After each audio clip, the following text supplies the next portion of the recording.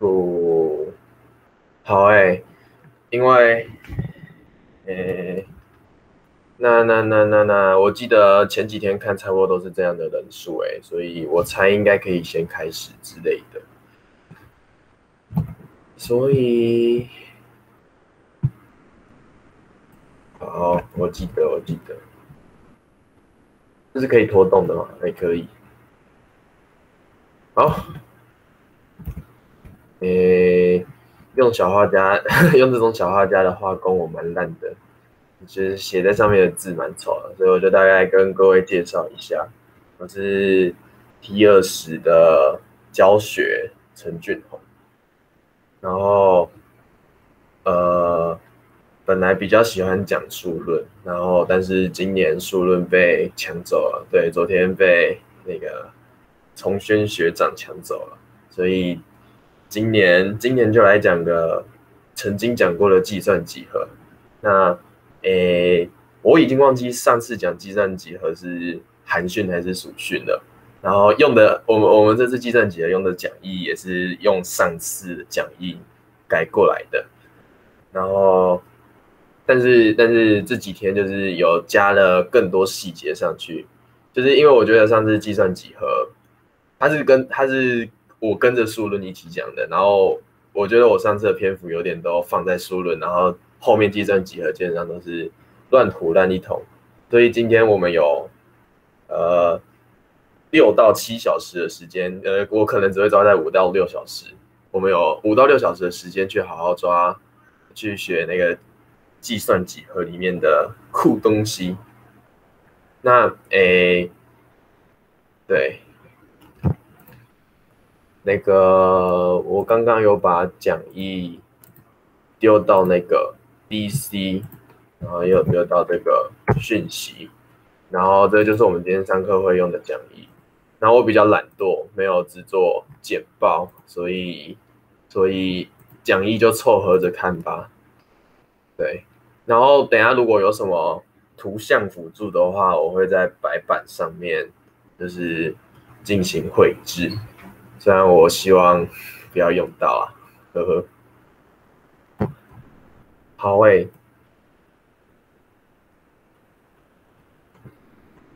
那。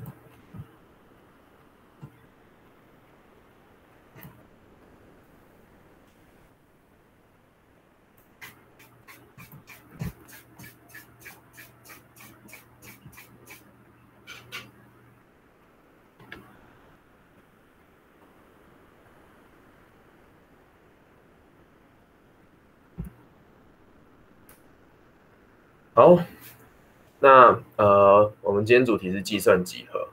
为什么要学计算几何？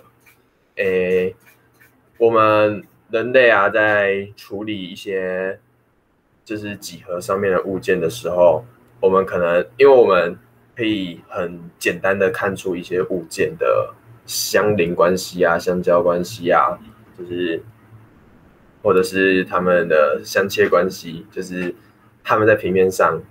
长的样子是如何的？那可是对于电脑来讲，假如说我们今天想要用电脑来处理很多个很多个几何物件，那我们就必须要去想怎么好好表示这个几何物件啊。那很多东西就是我们我们能看起来觉得很直观，就是很好做的东西，就是我们比如说我们可以很好的看的看得出来两个矩形有没有叠在一起，两个三角形有没有叠在一起，但是。对于电脑来讲，我们知道了很多这种物件之后，呃，我们电脑并没有一个很好的视觉的方式去，呃，当然现在如果呃现在科技发展成这样，是是有这样的技术的，但是还是颇颇需要研究一番的，所以就有计算几何这个科学。对，好，那呃，我们今天在研究计算几何的时候。我们主要是针对二维平面上面的几何物件去做研究，所以我们有定义，大概定义一些呃常见的几何物件。那呃会比较常用到的只有这个 point 跟 vector。那它们的定义都是有两个，在二维平面上只需要用两个量就可以表示出来的东西。对，那比较少用到的话，应该会是 line 跟 segment，就是他们是由两个点构成的。那会不常用到的原因，是因为我底下讲义的 code 程式码实作里面，有些时候表示这两个东西，我还是直接用两个 point 当做代表，所以这两个就变得，你你底下看到的 code 有些我会写 line，有些写 segment，但是大部分都是写直接写两个 point 这样子。对，那呃还会有另外一个。比较常用的是多边形的定义。那我们多边形的定义的话，是直接把点装成装在一系列的 vector 里面。那呃，可能大家大部分写 code 的时候都用过多边形。哎，这个这些我就先暂时拉小一点留着。我可以拉小一点吗？哎，可以，太棒了。好诶。多边形它呃有很多种嘛，那比较常见的可能就是这种凸多边形。哎，我懒得拉直线了，所以就这样将就一下。对，这种凸多边形，然后你假如说找一个点，开始按照某个方向列举，那通常都是逆时针，逆时针列举。那你把这些点按照顺序放到 vector 里面，那它们就可以。以某种意义上代表多边形，那当然我现在讲的只有凸多边形嘛，其他像是简单多边形跟一般多边形，其实也可以比照办理。那诶，可能有些人不知道简单多边形跟一般多边形的差别在哪。简单多边形的话，就是还包含凹多边形，凹多边形就是不凸啊，就是诶这种。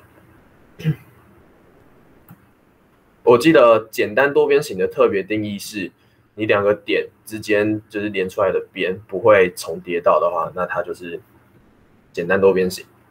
那一般多边形的话，当然就是可能会发生那种边重叠在一起的那种，像这个应该就是一种一般多边形。然后像这种多边形里面还有洞的多边形，应该也是一般多边形，而不是简单多边形。那这种有洞的多边形，我目前也还不知道怎么好好的表示。可能是对于一个多边形，他们还会有一个成员物件去记收它里面有洞的多边形长什么样子。OK，那呃，我们大部分讨论的多边形应该会落在简单多边形而已，然后一般多边形就暂时不管它。好，呃，稍微绕出去讲的这个东西，对，那诶，多边形的话，你把点按照顺序摆进 vector 的话，呃，可以视你自己的需求，就是比如说你有五个点，然后零一二三四摆进去之后，可以视你的需求决定要不要把零再摆回来，就是让它最后是一个闭合起来的。那有些时候这样子写会比较方便，有些时候不写。会比较方便，就是看你的需求。哎，到现在声音都正常哦，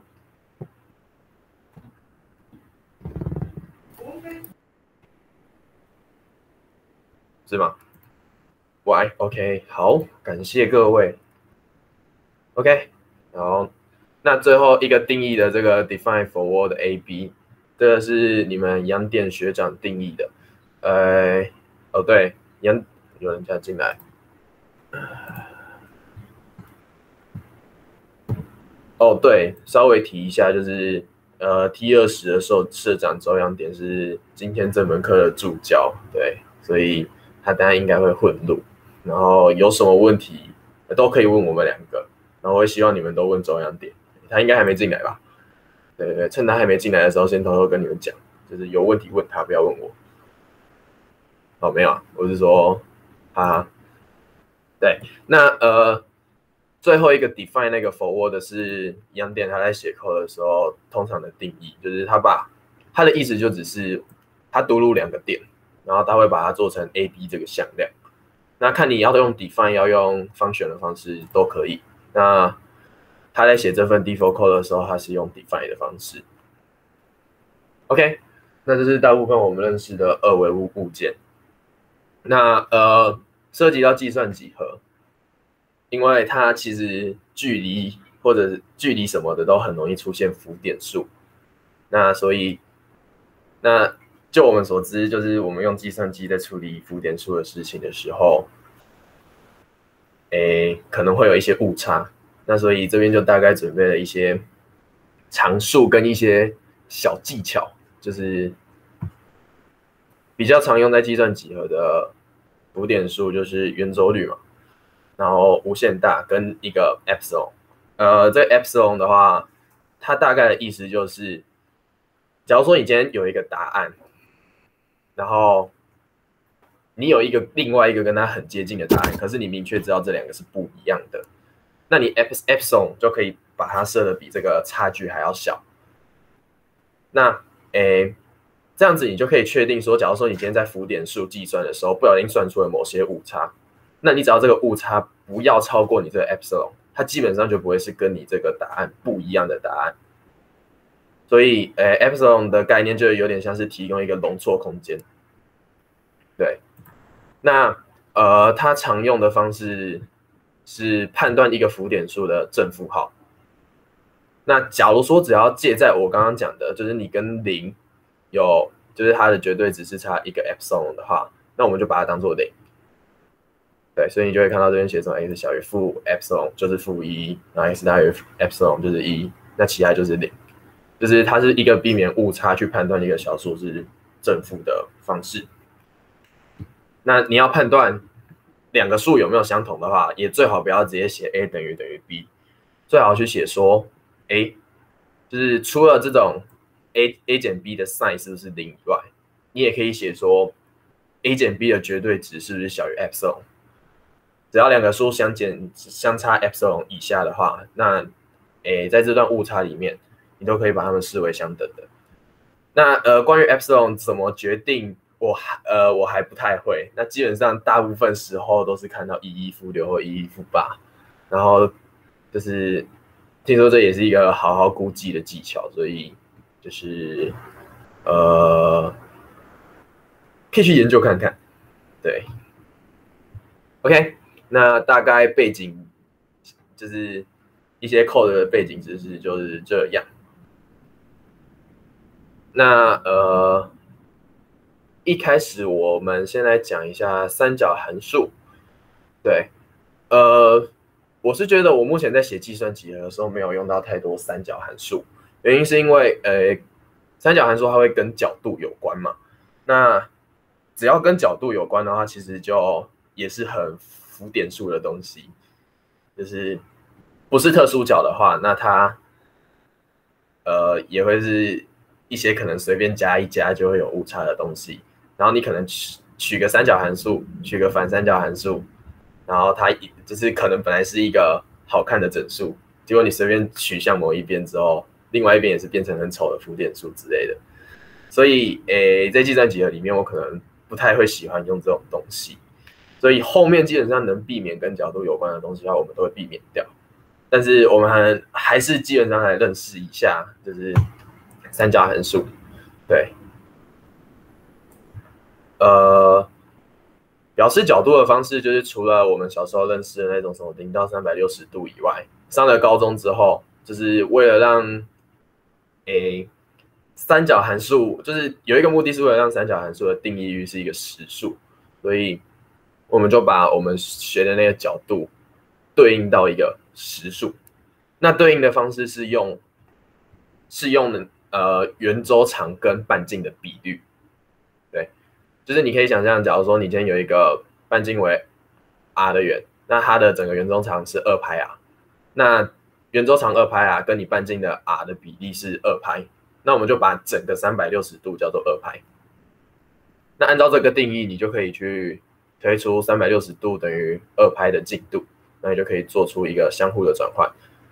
那所以一些常见的特殊角啊，什么九十度它是二分之派，六十度它是三分之派，什么什么之类的。就是，诶，因为大家都高中嘛，那，嗯，我忘记学到三角函数是一下还是二上了，就是学到的时候，这边可能要习惯一下，就是那个度数跟派之间的转换。那，呃，锐角三角函数就是它特别叫锐角，就是因为它可以直接借由直角三角形画图，然后去直接看出说，诶，三个三角函数它分别是这三个边怎样怎样的关系。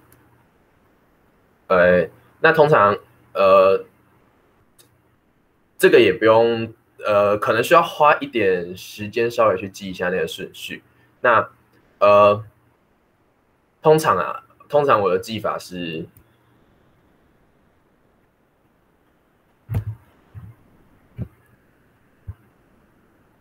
这个要怎么删掉呢？我只会 Ctrl 加力大法。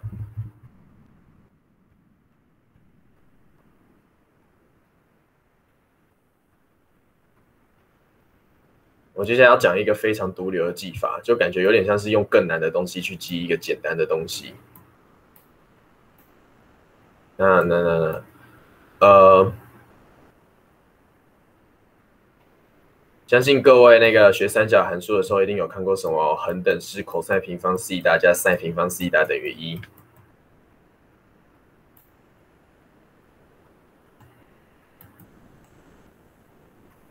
那，诶，你在那个平面上面画一个单位圆，你可以把你可以把那个什么，呃，它的它的方程是 x 平方加 y 平方等于一吗？哦，这个人单位圆超好看的，谢啦。但我不要用。等下，不行，学一下。哦，哎，好哎，好哎，好哎，好哎，好哎。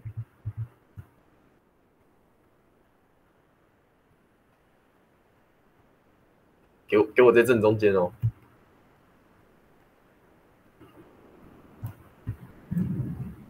哦，好，给你，给你，谢谢啊，谢谢。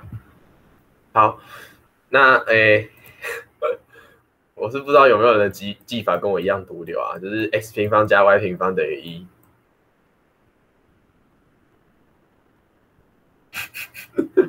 好，然后你会发现跟这个长得一模一样哎，所以你会发现可以一一对应。那所以，哎，通常圆上面的每一点，我们都可以把它记成什么 cos 西塔、sin 西塔之类的。哎，所以所以就很好记了，就是你上面随便画到圆心画一条线，x 的就是 cos 西塔，呃，y 的就是 sin 西塔，那你就想象一下西塔是在这里，哎，这样子是不是就很好的记上了？就是 h 分之 a 是 cos 西塔，哎，h 分之 b 是 sin 西塔，哎，这个记法非常毒瘤，所以哎，可能还是要习惯一下说。cos 西塔通常是跟呃，在在二维坐标平面上，我们会把它对应到 x 轴，然后 sin 西塔会把它对应到 y 轴，呃，y 的值。那当然有些时候是可以反过来的，就是可以自己变通的。但是假如说你今天就是固定那个角度的话，那你可能就要去记说 cos 是指沿着这个角度相邻的比例关系，然后 sin 西塔的话就是哎反过来就是对面，它们两个的分母都是斜边。然后只是 cos 的话会是紧紧相邻，sin 西塔的话会是对边。那 tangent 西塔的话其实就比较比较好理解了，它其实就只是斜率的意思。那斜率的话，那就直接 b 分之 a。OK，那根据一个锐锐角三角形，呃，这其实是一个直角三角形，然后它的角度是锐角，我们可以简单的定义这样的关系。可是假如说我们只能靠这种直角三角形来定义这种。函数关系的话，你会发现有几个限制，就是这个 c 的，它只能在零到二分之派开区间，就是只能零，然后不能到九十度，对，而且值全部都只会是正的。那我那我们刚刚说三角函数会被应用在二维平面上，所以我们会需要一个更广义的定义。对那更广义的定义，其实就就就是我刚刚那种偷吃步的东西啊，就是你们刚刚看到那个 x 平方加 y 平方等于一，我们说把它对应到三角恒等式，什么 cos 平方加 sin 平方西塔等于一，那其实定义上就是跟在那个单位圆上面看到的状况差不多。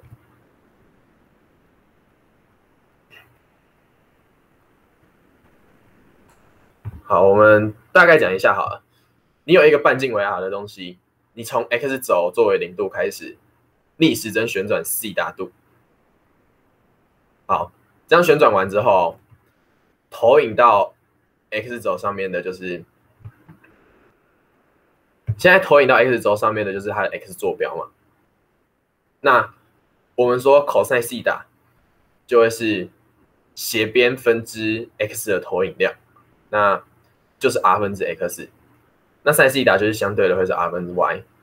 那 tangent 西塔依旧不变，就是它一样也是一个斜率的概念。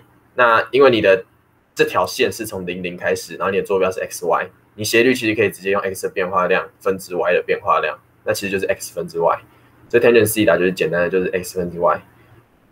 跟上面的关系一模一样，只是这个西达可以更加的多变。对，那 cos 水平 sin 这种像 tangent 斜率，这个时候西达其实你可以一直在那边疯狂乱旋转，就是它可以是一个很大很大的数，然后你就一直转，一直转，一直转。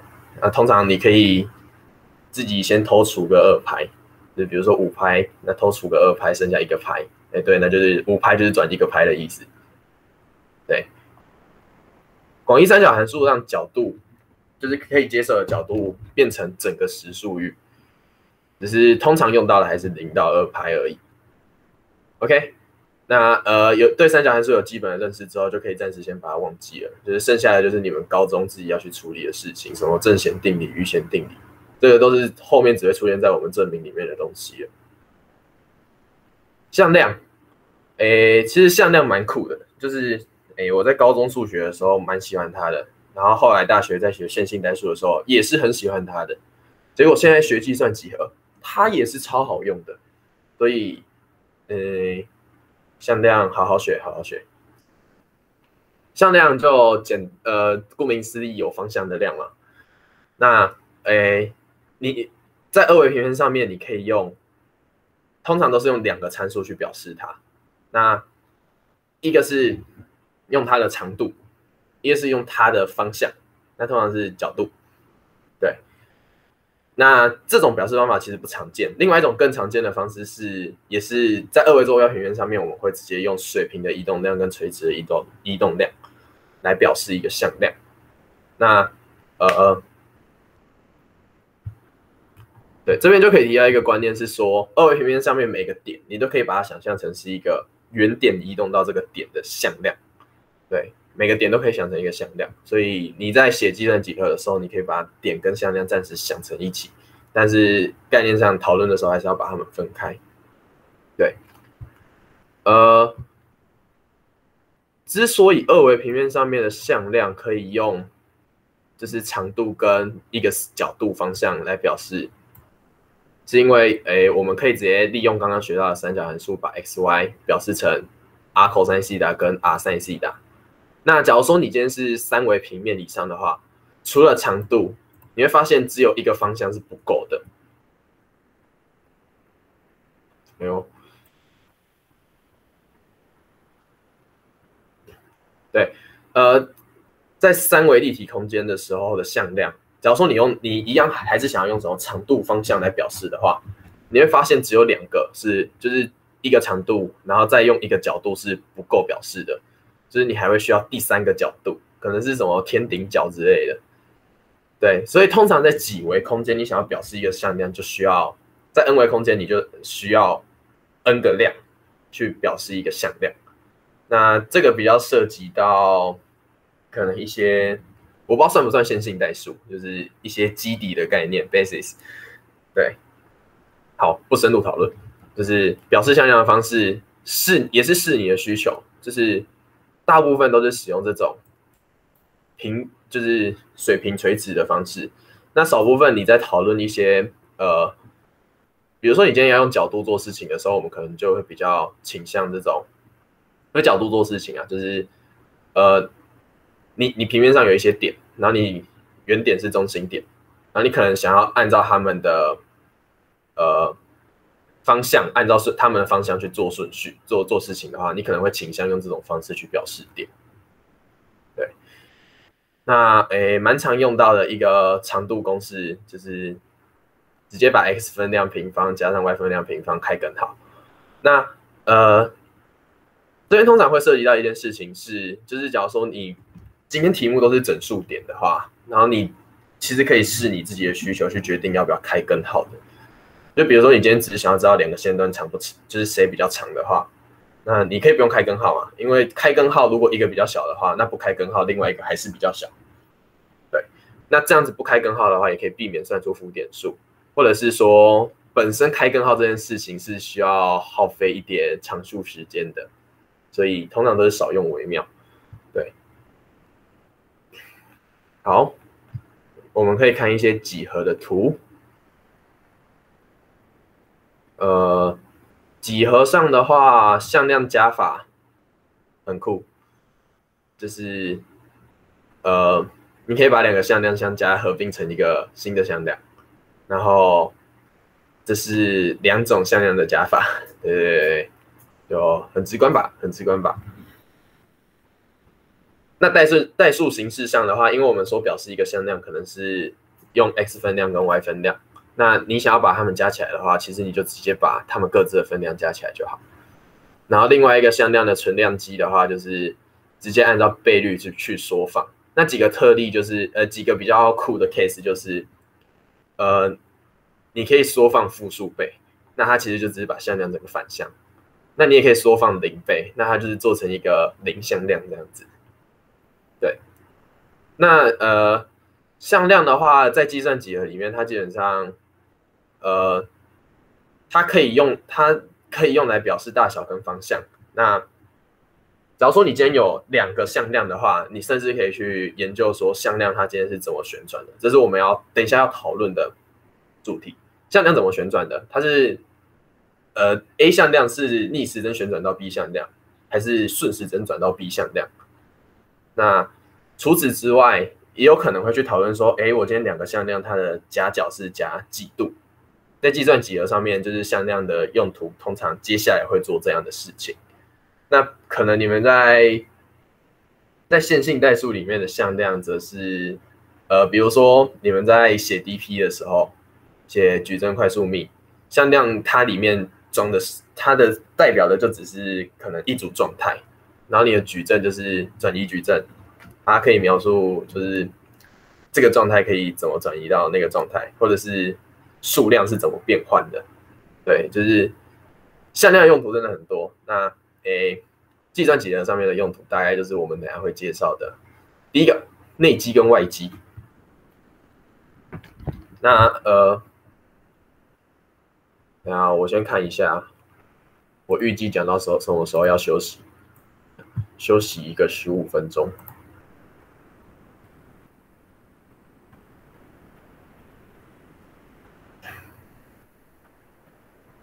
哎，好哎，现在好像跟我有点预期的不太一样，随便讲一讲就超过三十分钟了。我们我们休息个五分钟，消化一下，好不好？就是前面的东西都还蛮简单的，所以我们休息的时间也短一点。那如果刚刚有什么定义类的，就是你觉得不严谨或者是听不懂的，也可以这个时候提问。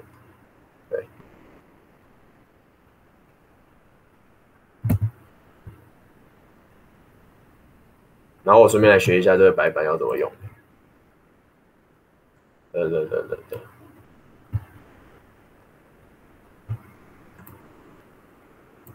它这橡皮擦只有固定大小啊。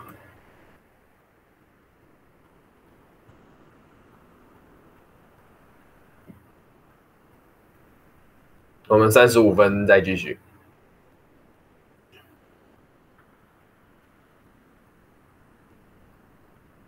你这个圆好强哦！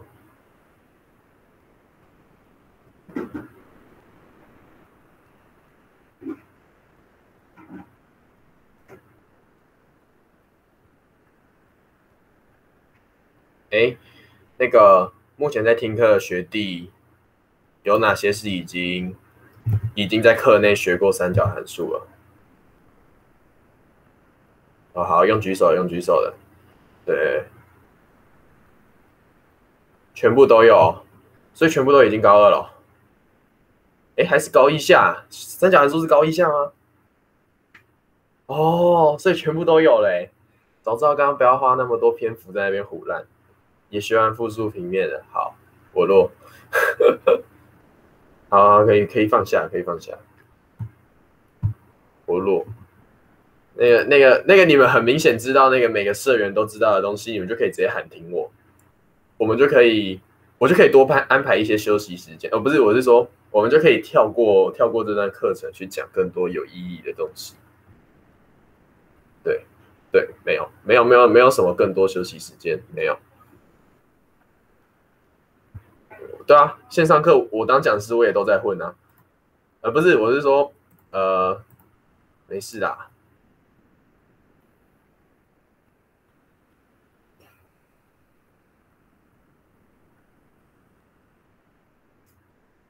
什么改课纲？哎，欢乐的五分钟好像过得特别快，还剩一分钟哎。哦，我看前两天学长他们都讲的好可怕哦，然后我就想一下，所训好像应该要讲一点进阶的东西，然后结果结果后来还是没有准备什么很进阶的东西，就是还是跟上次讲义里面的内容讲的差不多，所以今天呃可能就没有碰过计算几何的讲究一下听一下啊，如果已经很熟计算几何，今天可能不太会学到太多东西吧，对吧？那就是诶，有整理这样的笔记出来，所以大家也可以看一下。对，好了，五分钟，我们继续。对，那如果大家都已经诶也学复数平面，可是你们也还没有学那个空间向量，对不对？因为空间向量是二上，对吧？哎，有有学过空间向量的举个手。哦，这次就比较少一点。嗯，好，那那那呃，那我们这边就大概细细的讲一下，就是内积跟外积。那它定义的其实是两个向量的运算。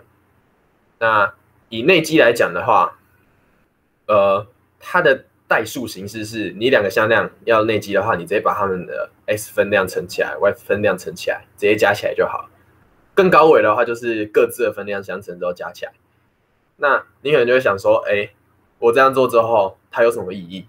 哎，有，它有它的几何意义。它的几何意义就是，假如说你两个向量，你把它们的起点叠在一起，它们加出一个夹角 c 大。那好，加出一个 c 大的话，那你会发现上面算出来的那个内积。它其实会是两个向量的长度再乘上它们夹角带带 cos，就是会等于 a 的长度乘 b 的长度乘上 cos 西的。那这个东西的话，可以用余弦定理去做对应，去得出两个东西是相等的。那呃，简单来讲，内内积的话，它会有一种投影的感觉，因为我们知道 cos 西的。它是朝零边、朝零边的一种比例关系嘛？那比如说你今天 a cos 西塔朝 b，然后乘上 a cos 西塔的话，其实就是我把 a 按照我们刚刚三角函数的关系，把它投影到 b 上面。那我们再把 a 的投影长乘上 b 的长度，就是 a 跟 b 的内积。所以内积会有一种投影的感觉。那你会想说，哎，你这样子就有一种方向性啊？这样子你是 A 投影到 B，那你怎么知道 B 投影到 A 对不对？哎，当然对啊，你就只是把你就只是把 cos 西塔分给谁而已嘛。那就是看你想要把谁投影到谁，A 投影到 B 还是 B 投影到 A？那他们的其中一个投影长乘上你投影到的那个向量的长度，就会是他们两个的内积。对，所以内积有一种投影的感觉。那好，大概稍微提一下就是。由于它们内积之后会是两个长度相乘乘上 cos 西塔，所以你也可以反过来，就是你有两个向量的内积，你有两个向量的长度，你可以反过来求到 cos 西塔。那通常因为长度都会是正的，所以 cos 西塔跟内积会是一样正负的，所以内积只要出来是零，那 cos 西塔要是零的时候，就只有垂直垂直的时候嘛。对，所以如果内积是零的话，夹角是直角。那如果西塔它是夹锐角的话，那那 cos 西塔会是正的，所以内积是正的时候，夹角是锐角。那反过来就是如果内积是负的话，那夹角就会是钝角。对，它这个求出来的 c 达，我们通常可以把它对到零度到一百八十度之间。零度的话就是两个向量直接朝同一个方向，然后一直转转转转，两个反向的向量就是一百八十度，那这就是极限的。你在转的话，就是角两个夹角就会从另外一边开始开始算。对，好，呃，内积的性质就稍微看一下就好。对，好，我们刚刚讲到内积具有投影的性质，所以假如说你今天在计算几何里面，你拿到了两个向量，你想要做投影的话，你可以分成两个步骤。呃呃，就是如果你要拿的只是投影出来的长度的话，你可以直接把。我刚刚讲的，把 b 的长度直接乘上投影的那个角度 cos 西塔，直接乘上去，那你就可以获得投影的长度。那假如说你要获得投影的向量的话，你还会需要 a 那个方向的一个向量。那通常我们习惯上会准备一个 a 方向的单位向量，就是要怎么准备那个单位向量，其实很简单，就是你直接把 a 这个向量。除掉它的长度，它就会变成单位向量，然后方向会跟你原本的 a 向量一模一样。有了这个单位向量之后，你再把它乘上投影长，你就可以得到投影向量的公式。那你就把这些带一带写写成式，然后你就可以对开心获得投影的东西。对，诶，举个例子，就是比如说你有一个向量是三四好了，我们知道它的长度是根号。九加十六就是五嘛，那你三四直接把它除以五，就是跟两个分量都除以五，五分之三跟五分之四，那你会发现它的长度算出来是一，对，然后方向的话就是五分之四五分之五分之三五分之四跟刚刚的三四方向是一模一样的，所以对，我们上面的说法是对的，好。那下一个要介绍的是外积这个运算。好，外积的话，它其实是，它其实不是每一个维度的空间都有。应该说，如果有的话，应该就是一个外积的推广。那呃，你们在高中认识的外积，基本上应该是在学三维空间的向量的时候会学到的东西。它的定义是说，呃，它今天。Input 是两个向量，然后我希望它吐出一个向量，满足以下的性质。第一个性质是那个 output 的向量，它的长度会是你一开始给的那两个向量围出来的平行四边形的面积。那第二个是，我希望这个向量它会跟你给的两个向量都垂直。好，那你会发现这个时候在三维空间上面。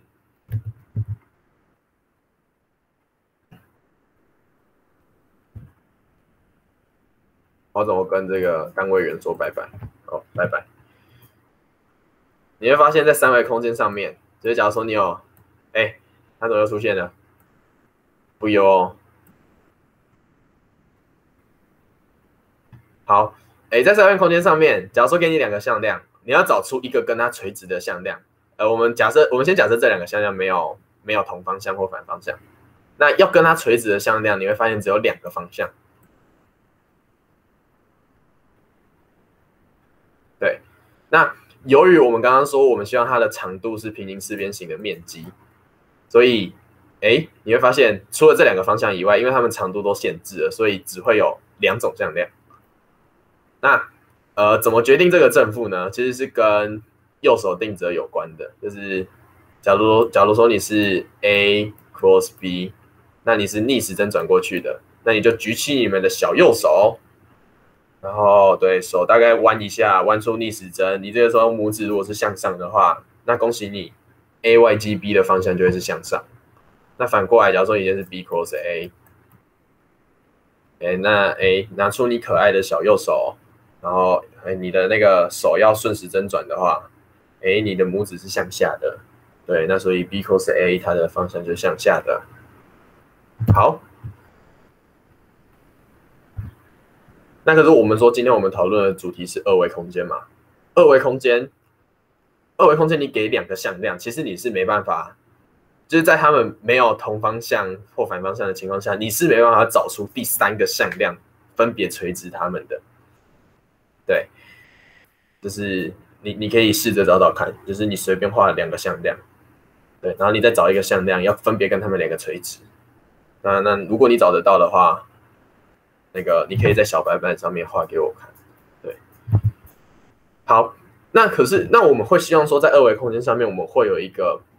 可以做到类似性质的东西出现，那那那就有了二维的定义，二维的外机，它其实就是把两个向量摆在行列式上面。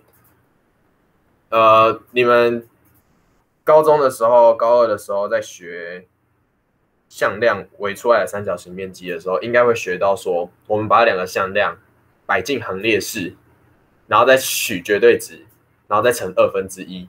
就会是他们围出来的三角形面积，对，没错。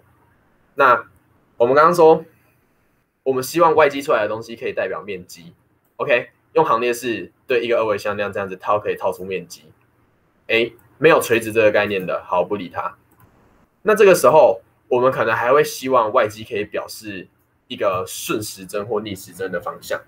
那你会发现说，呃，高中在算的时候，我们算出行列式。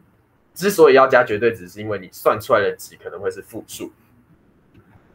那你再仔细去深究，会发现，哎，假如说你今天摆行摆在行列式里面摆向量的顺序，你是先摆一个 A 向量，然后再摆一个逆时针转过去的 B 向量，那你会发现它们外积出来会是正的。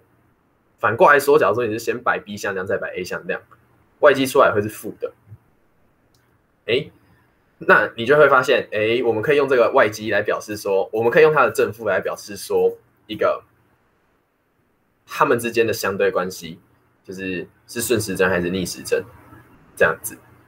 原本在三维空间，它是用它一样也是表示一个顺时针跟逆时针的关系，但它表示的方式是右手定则的向上跟向下。那我们二维空间的外积就简单的用正负号表示它们两个到底是逆时针旋转还是顺时针旋转。OK，那呃，我们说 A cross B 它是那个，它是可以算出加加起来的平行四边形面积的，所以它有点类似说内积，就是它可以等于 A。如果如果是其他维的空间的话，要套一个那个什么球长度的那个杠杠，就是。a 的长度乘上 b 的长度乘上它们之间的夹角带 sin，那这个算出来就会是那个你用上面这种代数形式求出来的哇哥。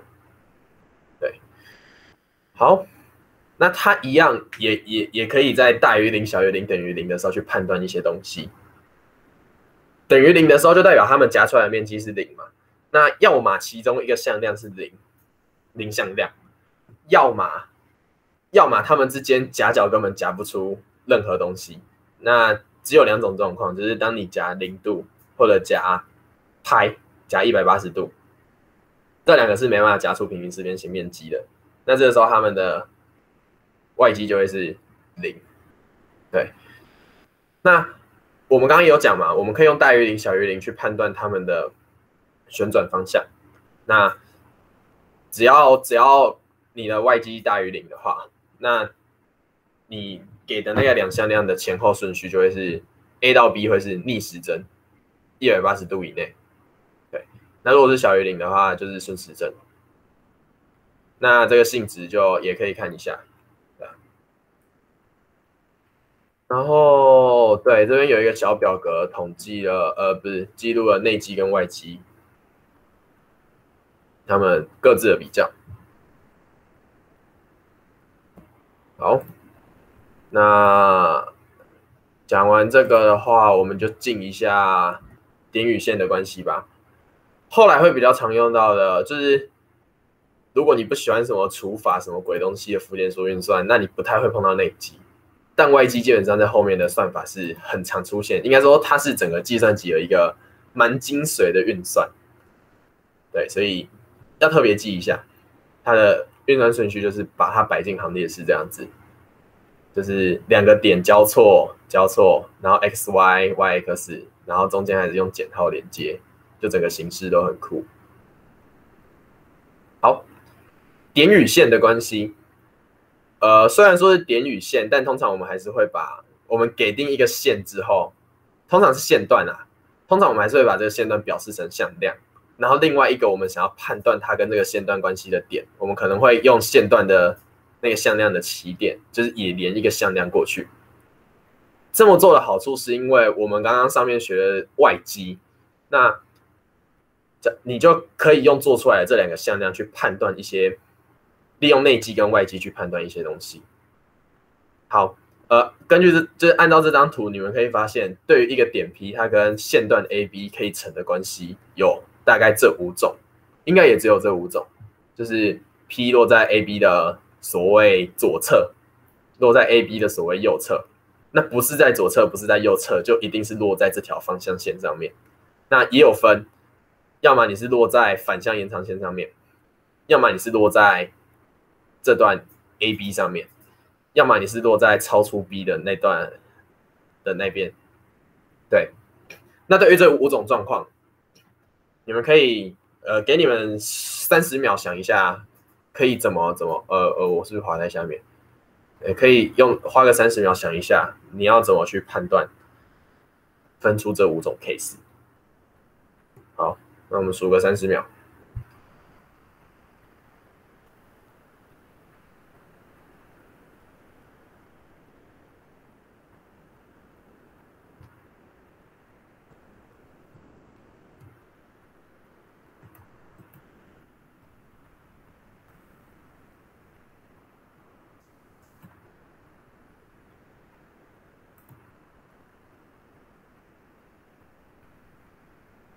哎，好，到了。好，那前面这两个很算蛮简单的，就是可以用我们前面学的外机去判断它到底是逆时针旋转还是顺时针旋转。就是你假如说你有所谓什么 P 在 AB 的左侧的话，呃，讲左侧通常会不太明确啊，就是你可以讲在逆时针旋转的地方还是顺时针旋转的地方，那你就可以直接用我们刚刚学的外机去判断。它们正负，先把前两个 case 判掉。那只要等于零的话，等于零的话就一定是在线上的 case。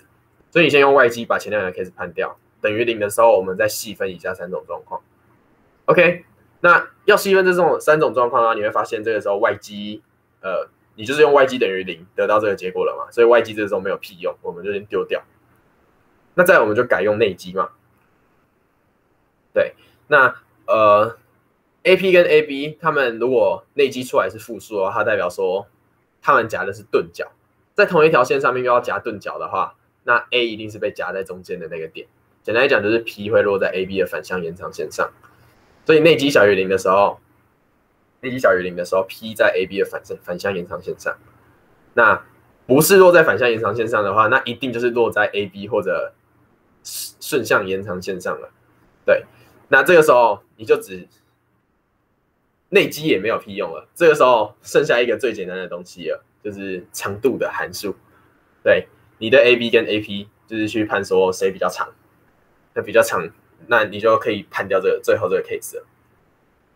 对，那底下这些 case 的等号也是视你的需求啊，就是比如说你今天 P 刚好落在 A 上面的时候，你希望它是把它定义成落在反向延长线上面的话，那你这边 A B 到 A P 你就要改成小于等于零。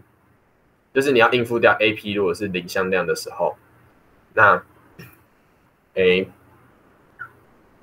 A A P 如果是零向量的时候，就是 P 落在 P 就是 A 点的时候，那它也可以被判到反向延长线上面。就是这边这些什么小于大于等于都是视你自己的需求去决定要加等号、拔等号之类的。对，比如说这边 A B 小于 A P，如果加了等号的话，那就有点像是说 B 这个端点上面不算在。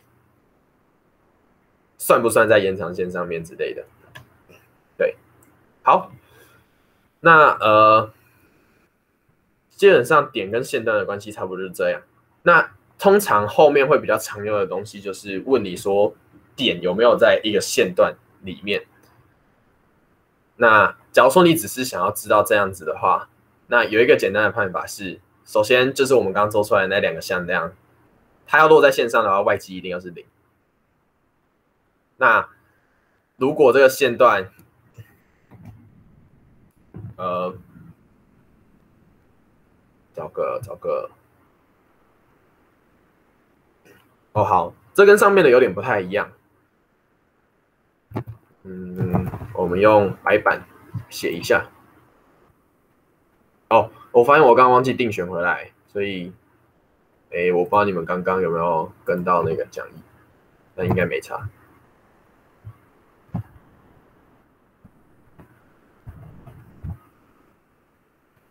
好，呃，我给定了一个点 P，然后再给定了一个我们一开始定义的那个 segment。那 segment 它有两个两个成员是 point one 跟 point two，P one P two。好，那这个显然是一个。没有落在线段上面的 case，所以再让我准备一下。现在这个 P 点在这个线段上面了。那观察后你会发现，如果你 PP one 做一个向量，PP two 做一个向量，那首先他们因为夹角是夹一百八十度，所以他们外积出来一定要是零。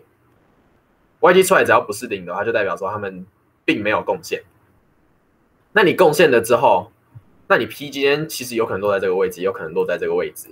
那你做出来的 PP one 跟 PP two 其实会是朝同一个方向。简单来讲，就是它们内积出来之后会是正的。所以反过来，你只要内积出来小于等于零，那就代表说 P 落在要么 P one 上面，要么 P two 上面，要么它就位在中间，然后它们夹反向。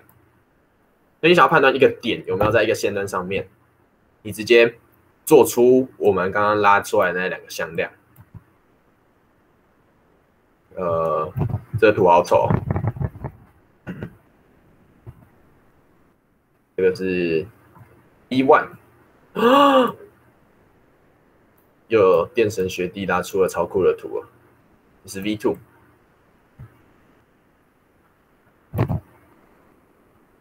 对，那你就把 V one 跟 V two 去外积，那判说它等于零，而且内积小于等于零，那这个点就是在这个线段上面了，对，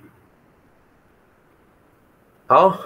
那投影的话，投影的话，我就也简单画一下，就是不常用，不常用。就是我们刚刚学了，我们刚刚有学向量投影嘛，就是给了两个向量，然后我们要把 B 向量投影到 A 向量上面。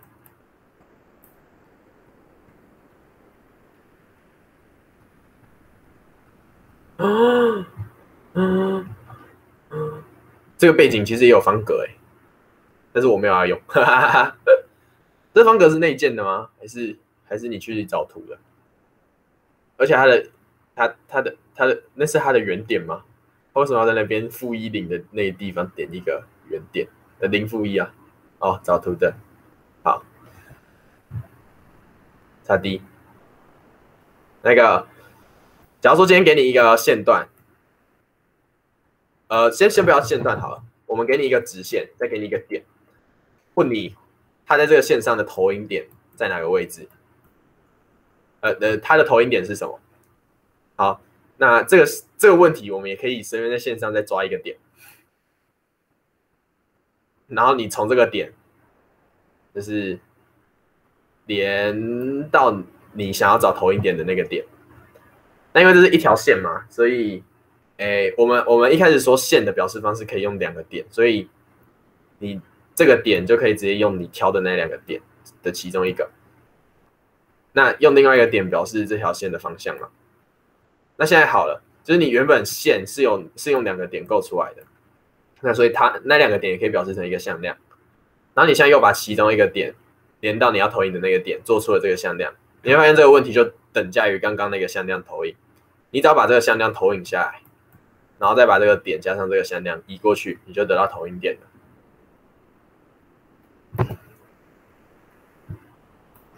我真的是灵魂会师哎！等下要不要玩钢铁点 IO 啊？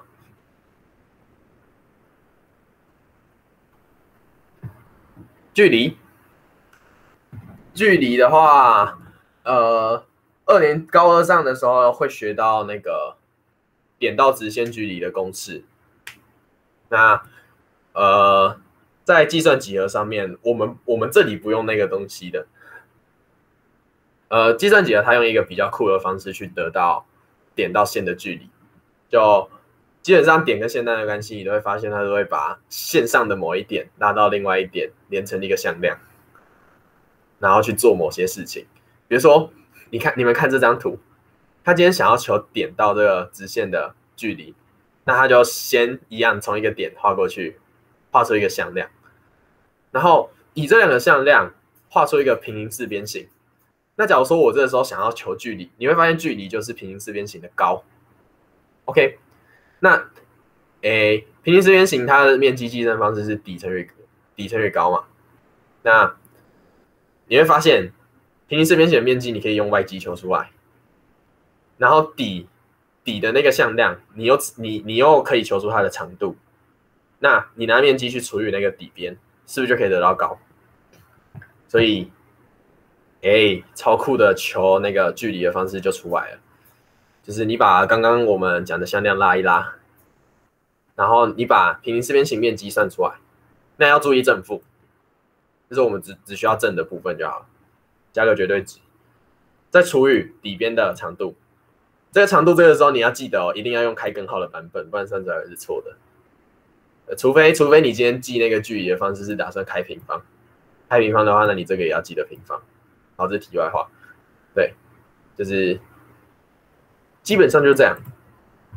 对，刚刚上面忘记讲一件事情是，呃，我们讲的投影跟距离都是点到直线。那假如说今天是点到线段的话，以投影来讲的话，点到线段的投影，你可能还要去判说，嗯，也是一样要看你怎么定义。就是，假如说我们看到小白板。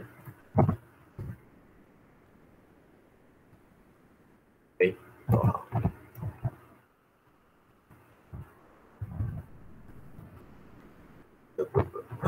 不要回来，不要回来，好，就就这样，好，点头。我刚刚讲什么来着啊？哎，有其他白板？哎，还是这个方格子是刚刚别人帮我开的？等下，我现在忘记我刚刚讲什么。哦，我要讲线段对不对？好，线段 有一个点，你要投影到线段。假如说你的定义是说，所谓点投影到线段是在这段范围上面，我都可以直接垂直投影到上面，然后只要没有在这段范范围的，我都投影不到上面。那这其实很好判断嘛，就是你一开始外机就可以判掉这种这两种 case 了。对，就是假如说有发生其中。一个夹角，哎，不对，然后我想一下外机怎么判这个 case，应该是内机哈，内机用内机判掉这个 case，就是假如说某一个点，然后你连连向量过去，然后夹角是夹钝角，然后另外一或者另外一边的话，那这时候它就是发生这种 case，那你就可以不用投影，那只要不是这种 case 的话，那你就可以。很放心的，直接拿这这个线段直接继续做我们的投影，对，或者是你的定义是说，假如说他今天在这个区域外面的话，我的投影到这个线段，我就不屌他，我就一样投影在这个线段的反向延长线，那那也很好，那你也是直接套刚刚的公式就好了，只是距离的话就有点不太一样。因为到线段的距离，通常通常就是除了在这段范围里面的，你可以这样算以外，在外面的你可能会是一个到端点的距离，这样子。所以一样，你要把这两种 case 特判出来，然后直接求到端点的距离就好。那只要不是这两种 case 的话，你就可以继续用刚刚的点到直线去求出来。哎，到这边有没有问题？没有问题的话，我们又可以。这次我们可以休息长一点，就是时间小偷嘛，偷个十分钟好了。对，就是刚刚前面的主题，有问题的话可以问，不然我们也可以投个票。就是因为我现在还没有很喉咙还没有很那个，所以要我继续讲下去的举手。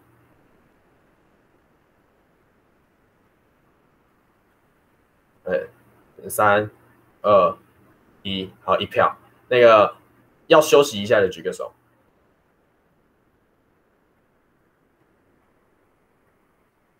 哎哎，没有，哎，我要学那个黄马，那个关我屁事的举手。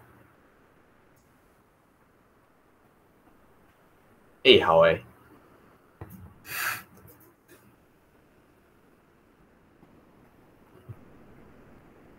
好哎，那刚刚刚刚一比零，所以我决定继续讲下去了。OK，呃，这个题目是什么？是 CSES 上面的。哦哦，对，呃，这题题目是那个。讲义上面这题题目是给你，给你，给你，给你，给你，给你一个线段跟一个点，然后让你判断这个点在线，在线上还是在线的左侧还是在线的右侧。对，就是一个让你拿来测外机的裸体。对，好，呃，点跟多边形的关系，呃。目前这份讲义我是只有做一个事情啊，就是点跟多边形的话，我只有做判断一个点是否在多边形里面，我只有做这个主题。那当然，其他点跟多边形的关系可能是什么点投影到多边形上会是什么点啊？那个那个太恶心了，我没有做。然后点到多边形的距离的话，感觉有一个 O N 的做法，就是你就列举每个端点。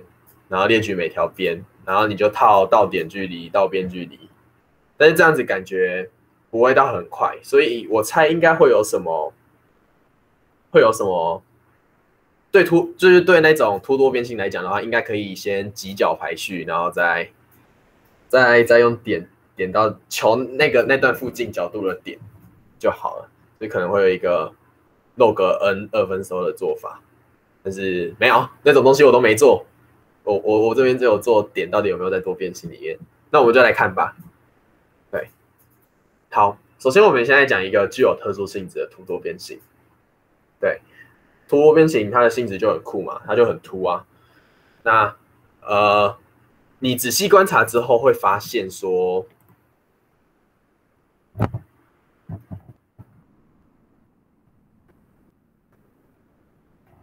那个 distance 好酷，谢啦。匿名海象，诶，好，我有一个凸多边形，凸多边形，然后，诶，你直接做的话，你可能，呃，你直接观察的话，你可能会发现，假如说我们按照多边形某一个顶点顺序去列举，那我刚刚有说习惯上是逆时针嘛，逆时针，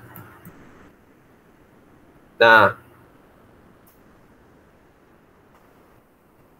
我们可以有一个最直接的观察，就是对于凸多边形里面任何一个点，呃，它应该都会落在每条边的同一侧。比如说，假如说你有给定一个列举方向的话，给定一个列举方向的话，那现在在这个凸波凸凸多边形里面的每一个点，它应该都会落在每条边这个向量的呃逆时针侧。对，逆时针侧，对，所以反过来讲说，如果今天你有一个点在凸多边形外的话，那它像这个就有可能是落在一个顺时针侧的部地方，对，所以有一个有一个做法是，你直接直接按照顺序列举多边形的每一条边，用向量的方式列举它们，那你去判断说，假如说你是逆时针列举的话。那你多边形内的点也要落在逆时针那一侧。那，诶，你逆时针的列举要在逆时针那一侧，所以就列举每条边，然后做出对应的两个向量，然后去外机看看说方向对不对，基本上就可以判断了。但是会有一个问题是，假如说今天外机出来，就是你曾经出现一个 case 是外机出来是零的话，那代表说你曾经列举某一条边，那它有一个点。是落在这条线上面的，所以它可能在这里，它可能在这里，它可能在这里。那呃，打个嗝。诶，想一下，对，那对于这种 case 的话，你还你外机出来一旦是零的，外机一出来一旦是零的时候，你还要判断它到底是在多边形上还是在多边形外，你还另外需要花一个内机的计算去去判断这件事情。那所以，我们今天假如说你想要判断点有没有在图多边形里面的话，你其实是有另外一个做法的，就是我们一样逆时针列举每个点，只是这个时候我们做出来的向量不是我们不是用上面这个边的向量来做，我们是把我们想要判断的那个点到每个多边形的点连一个向量。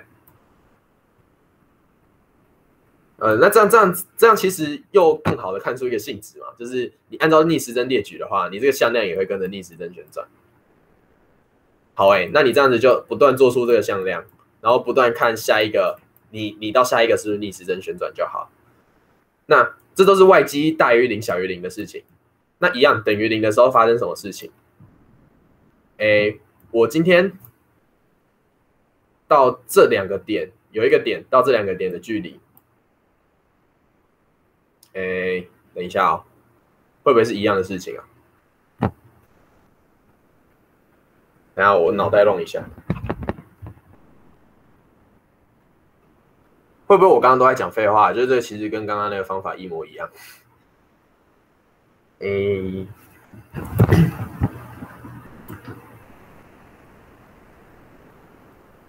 哦。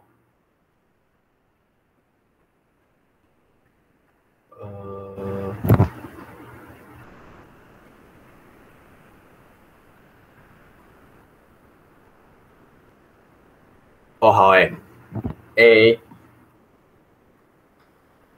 基本上逆时针旋转外机是大于零嘛？那呃，这个时候你只要发生等于，就是你发你只要发生一次小于的状况，你就可以马上判断它在多边形外。那简单来讲，如果还没有发生小于的状况的话，那它就是在多边形内或者多，就是可能还在多边形内或在多边形上。所以一旦出现等号的时候，那它一定一定不会是一个在呃，就是就是那条边。然后我们刚刚说，我们外机如果看到一个零的话，那就代表说有一个点落在这条线上，可是一定不会是落在外面的这个 case。因为假如说它落在外面这个点的 case 的话，那它之前多边形在列举其他条边的时候，它就会发现发现说。哎，我这个点在逆时针列举，结果你在顺时针旋转，y 积小于零，这个时候就应该被判掉。对，所以如果没有被判掉这件事情的话，那基本上你可以确定，你看到 y 积等于零的时候，你就可以直接确定它在多边形的边上了。这样子，对。那如果是刚刚那个的话，刚刚那个的话，刚刚那如果是刚刚那种做法的话，你会发现，假如说点，我们以我我看能不能换颜色，我们以这条边作为例子，我们刚刚是说我们列举多边形的边嘛，然后去列举那个点，然后用你列举的那条边连一个向量过去，你会发现这个时候外积出来，哎。要，嗯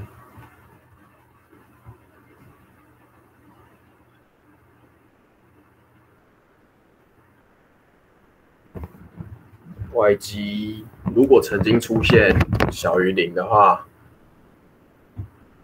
诶诶，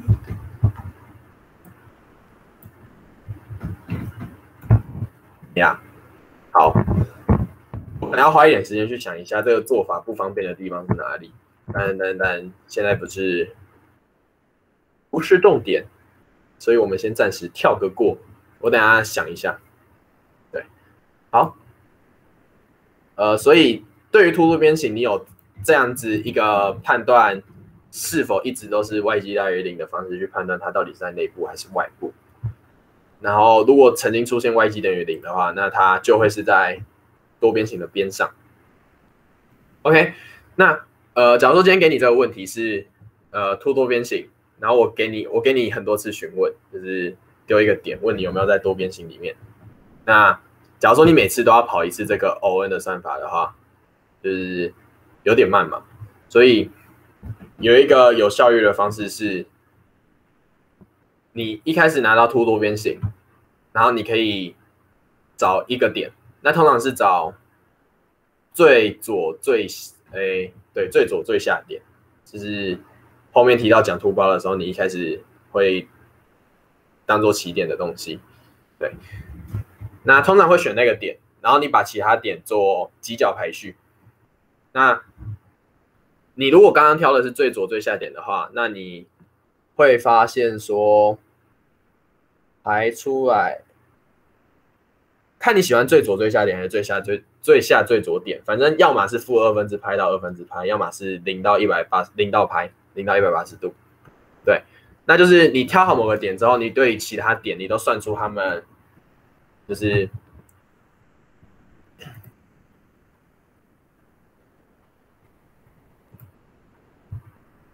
我直接转第二个白板，对，好。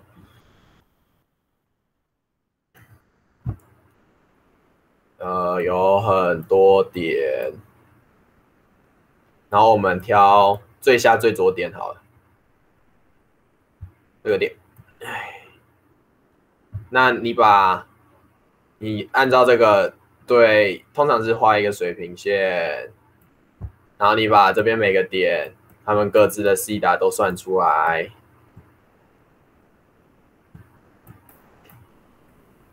那这样子以后，对于对于一个你要询问的点，就是我随便抽一个点，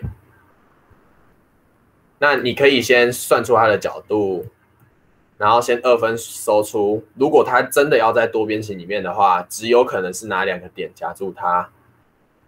那比如说以这个 case 就是这两个点，那再来你就可以用外积去判断说，去判断说，呃。这个点到底在三角形内还是三角形外？那，诶，我们可以开放个三十秒内抢答，就是你有什么方法可以快速判断这个点到底在三角形内还是三角形外？哎，三十秒，快点抢答，抢答，抢答！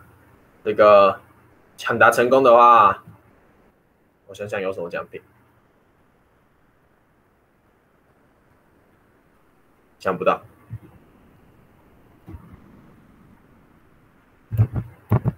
等下，现在的反应是干我屁事，还是那个，还是那个，都都没有想到要怎么做？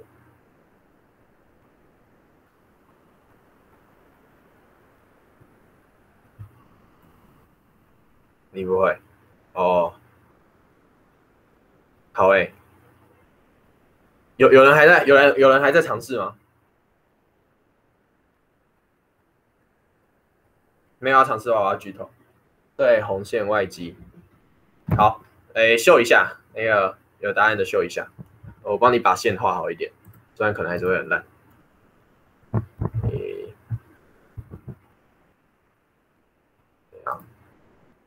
好像也没有画好什么。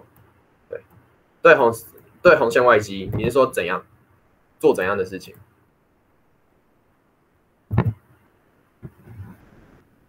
我在呃。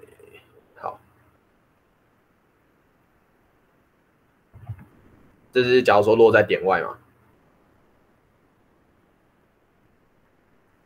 嗯。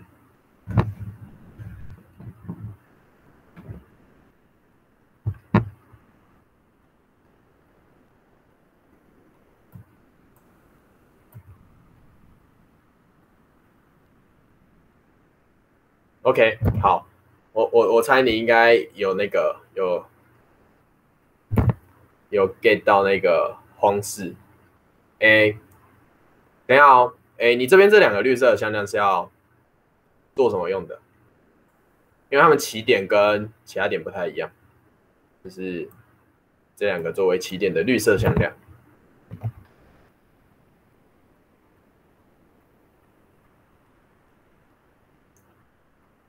反正你应该是要求三，你是要求三角形面积吗？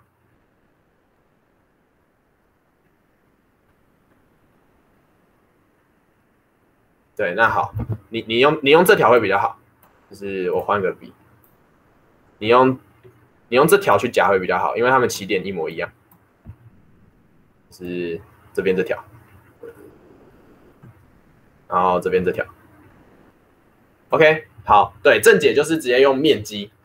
其实你会发现面积其实可以真的可以干很多事情，就是后后面我们在讲旋转卡尺的时候也会用到。对，你用面积，就是你今天这个点，呃，你一开始调的那个基准点，你到你要判断在多边形内部的那个点，你连一个向量，然后你二分收出来的那两个端点，呃，你也连一个向量。那你先把这两个向量算算出它的三角形面积。呃，可以算平行四边形啊，反正如果都是要用面积去比较什么事情的话，就不用除以二。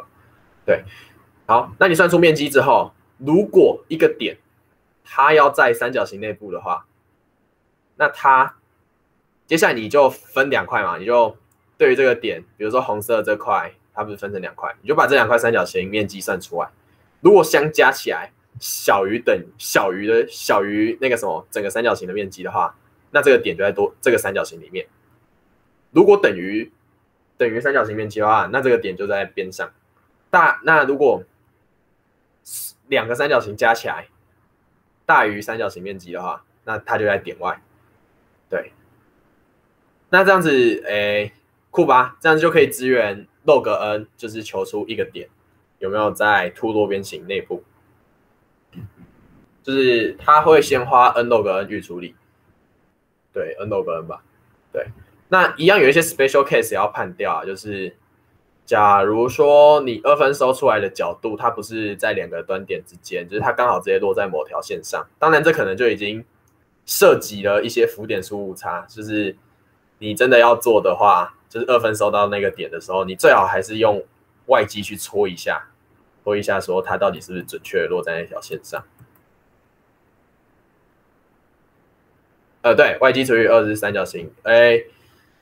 二维空间的外积，我们希望它做出来是三角形面积，然后就是是是这样没错，就是那个两个向量，然后 x 一 y 一，哦，好难写，x 一 y 一，x 二 y 二，它们夹出来的平行四边形面积。会是你把他们的各自的分量摆到行列式，摆到行列式。那呃，如果 x y 一到 x y 二是逆时针的话，那这头行列式就会是正的；如果是顺时针的话，这头行列式就会是负的。那你加个绝对值，就一定会变成面积。那你套个二分之一，它就会从平行四边形面积变成三角形面积，这样子。OK 吗？天啊，这个小白板现在真的很棒。好，对，那假如说是这种你二分收只收到一个点的 case 的话，那你也是一样简单的用长度判断就好。就是如果它落在这个长，如果长度小于怎样，然后如果长度等于长度大于，就分别是内部，然后边上跟外部。OK，到这边有没有问题？我想应该没有。因为刚刚才刚解答完一个问题，好，再来要讲一个我根本没写过的射线法，就是因为我在我在学这个 topic 之前，我就已经被是说我们助教来了没啊？我们助教还没来，我就已经被那个你们 T 二零的社长，就是杨典学长，就直接被他推坑那个全道数，呃，所以射线法基本上我没有写过，而且呃，怎么讲？这个点在多边形的题目好像我忘记去年什么比赛有出出来了，然后其实其实好像有点针对啊，就是题目是裸的，然后我们又出了很针对的测值，所以应该没有很多人写出来。然后我记得陈瑞学弟好像有用射线法，然后就是课好像吃了很多蛙之后，然后 random 去 AC 的那一题，我忘记我忘记他实际做法了，就是他用的就是射线法。射线法的概念就是其实很简单。呃，先讲为什么我会需要学后面几个方法，原因是因为我们上面这个方法是拿来给凸多边形用的。那假如说今天是一个简单多边形，就是比如说凹多边形的话，那可能会出现一些事情。诶，其实我也只知道凹多边形会有事情，但我好像一直以来都没有去思考那个例子。对，射线法达到点会会出事。就是它，它射线法会需要判很多 case。然后我先想一下，凹多边形，呃，这二的颜色好恶心。呃，它有没有什么多边形工具？哎，好像好像好像没有。我不要这个，我们画一个美丽的凹多边形。然后我们再再套一个刚刚的算法吗？哎，有咯，我我按照逆时针列举这个点哦，然后我连向量哦，哎哎哎哎，出现顺时针了，这跟我们刚刚的，就是不是凸多边形的话，我们凸多边形的做法会烂掉。对，有点干话，但我不然我换个讲法。就是在凹多边形上面，我们凸多边形讨论出来的做法会烂掉，所以你就知道凸多边形是一个多完美性质的东西。所以对于这种呃不是凸多边形的简单多边形，我们会需要其他方式来判断，所以才会延伸出以下两种方法。那第一种方法是射线法，它的想法很简单嘛，就是你今天在一个多边形里面，你假如说要往一个地方，就是你就想让你一直无穷无尽的走。无穷无尽的走，你一定会穿过边界基基数字。哎，反过来说，假如说你在多边形外，那你朝某一个方向走，你一进一出，那你就会出现在多，就是还是在多边形外的话，那你一开始就在多边形外。对，就是它是利用你。跨越边界的时候会跨越多边形的外部跟内部，所以它只能做简单多边形。就是，诶，我想一下，我不太确定这是不是一般多边形的范畴啊。但就是像这种东西的话，跨过边界的时候，它并没有更改它的内部跟外部的话，这种东西射线法就会烂。但是我不太确定这个是不是多边形的范畴，呃，就是一般多边形的范畴，所以忘记它。我们就稍微看一下就好了，就是射线法的概念大概就是这样。然后实作上的话，我们通常会习惯用一条水平线或垂直线，然后就真的就去列举每每一个端、每一个每一条边，哎，每一个线段，就是每个边作为一个线段，然后你去，哎，呃。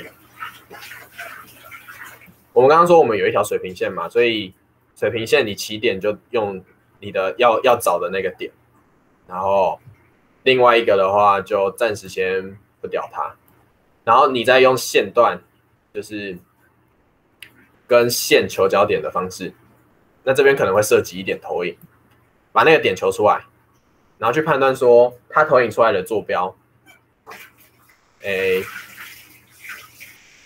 想一下。OK，假如说我是往这个方向的话，那就是 x 坐标只要大于我的坐标的话，就代表说这条边跟我接下来走的这条射线它有交点，那你就加一。那最后你只要判断你总共得到了几次交点，那就就可以按照刚刚的方方式用奇偶性去判断它在外部还是内部。那当然，刚刚学弟有讲说，这个射线法一旦撞到点就烂掉了。对，就是当你撞到了点。就是像撞到这个点的话，是不会改变，不会改变内外，不会改变多边形内外的性。那假如说你是直接这样子，就是假如说你换一个方向啊，然后你射线法这样子中的话，这个就是会改变内外性的。那这种不一的情况，就是你会需要特判很多东西。对，那我是不知道会不会烂的很彻底啊，但就是我不会喜欢用它的。对，所以射线法你们就大概知道它的概念就好了，我们就可以开心的学下一个全绕数。OK，呃，全绕数讲完，我们就先休息一下。哎。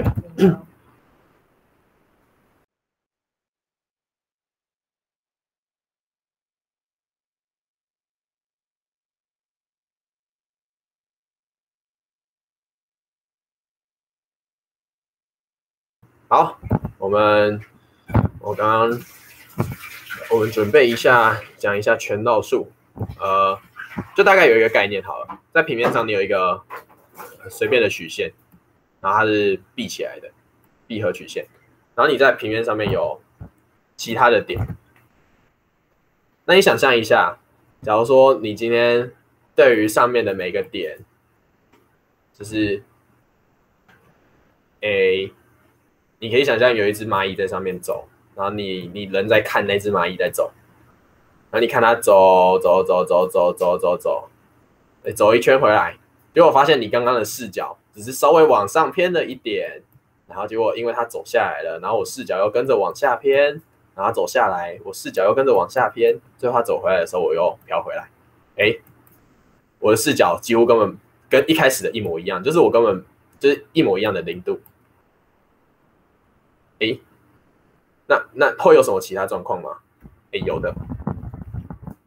假如说你今天是站在蚂蚁绕的圈圈里面，看着它走，哎，你就会跟着它一起绕了一圈。哦，所以好像有一个很棒的做法去判断说，哎，假如说我有一个方法可以跟着它在走的这个夹角一开始转的话。那只要加起来不是，只要加起来是零，那就代表说我在这个曲线外面，加起来是二拍的话，那我就在这个曲线里面嘞。那当然，呃，假如说你今天有其他多边形的话，你可能会转很多圈呐。是，呃呃，先不要讲多边形啊，有一个闭合曲线长这样，就是这是我不想讨论的东西，但就是，呃，假如说你有一个多边形。它走完之后会让你转很多圈的话，那也也通常会把它也算在多边形内部，所以通常我们会用一个点。假如说我们有办法把我们刚刚做的这个角度的事情给统计出来的话，那我就可以用它是不是零来判断它在多边形内部还是外部。如果它是零的话，那它就在外部；不然的话就在内部。对，那这个闭合曲线其实可以直接换到多边形上，就是多边形你可以把它想象成是。二维平面上面的一个闭合曲线，当然它看起来并不曲啊，闭曲，没事。好，哎，呃呃呃，我们销毁一下证据，它的橡皮擦可不可以更大？是没有。OK，我们换回多边形。天哪，这个多边形看起来更像那个。更像，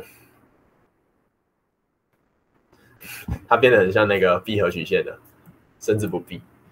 OK，呃，有一个点，我们说上面有一只蚂蚁在多边形上面走。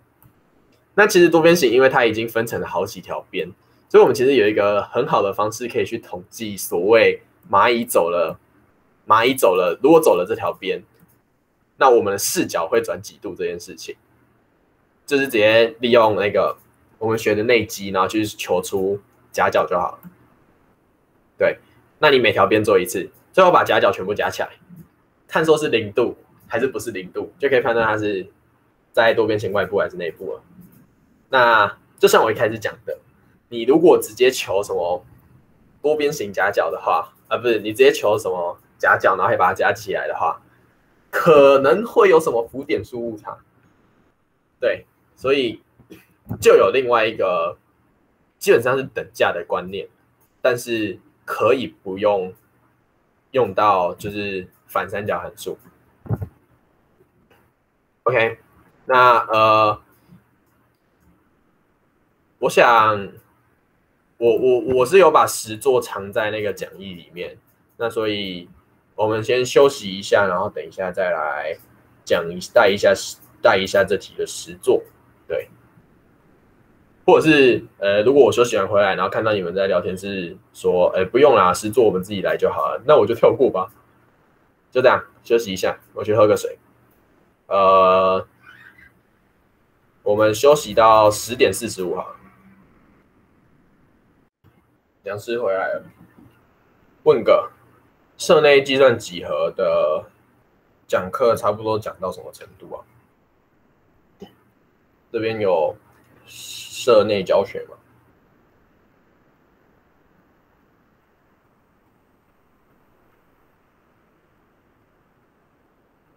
哎，好，大家可能都去休息了。可能我去年有稍微光速飞奔飞奔过这边，哦，但是多边形没有。我是说，哎，不是，就是平常社课啊，平常社课有碰那个，有有有计算几何的那个吗？课程吗？这课没有哦，太好了，不是太好了，我是说，呃呃，没事，哈哈。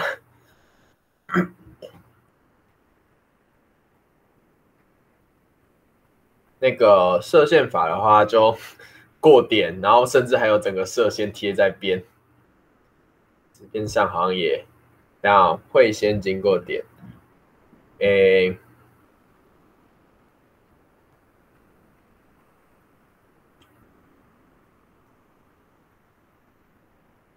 过某个点的时候，就会去判说这条射线会不会直接过那条边吧。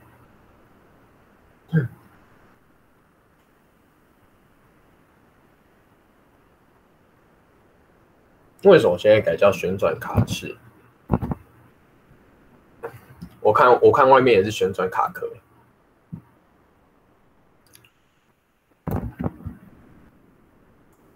反正反正射线法射线法我没有想要用啦，学后面那个全道数就好了。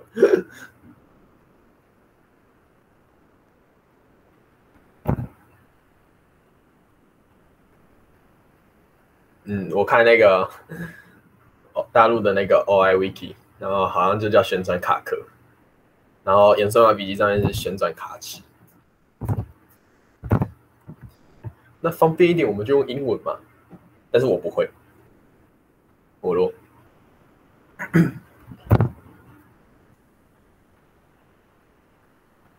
游标卡尺。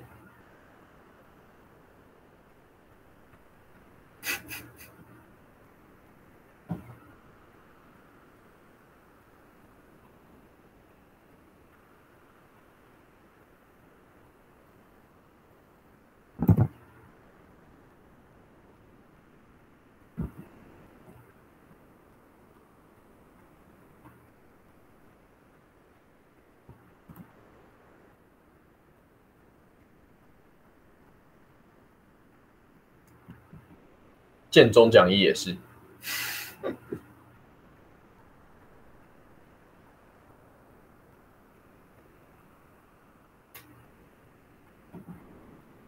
哎，我来看一下 Google Meet 还有什么酷功能可以用。我也可以举手，而且举手会有音效。我现在录制中，变更版面配置、自动图块、聚光灯、侧栏。并排显示不屌他，呃，对，可以把人踢出去，一般的好像没有，太棒了，记正良拜拜，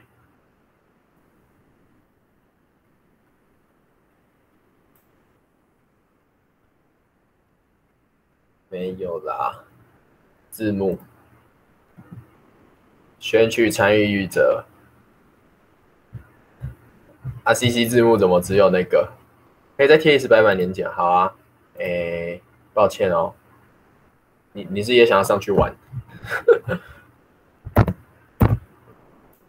共用取得连接，我在 DC 也贴一个好了。一特白板。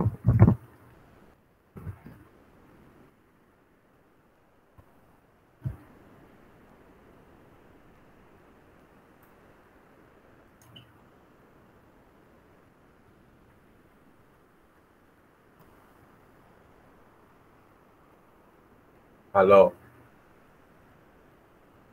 I am handsome boy. Nice.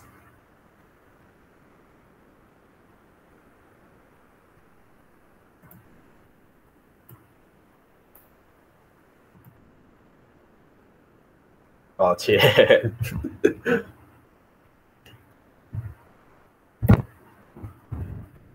学校学校那个什么，留给我们毕业生的账户是不是明好像到明年就会消失，对不对？明年七月还是几月？忘了。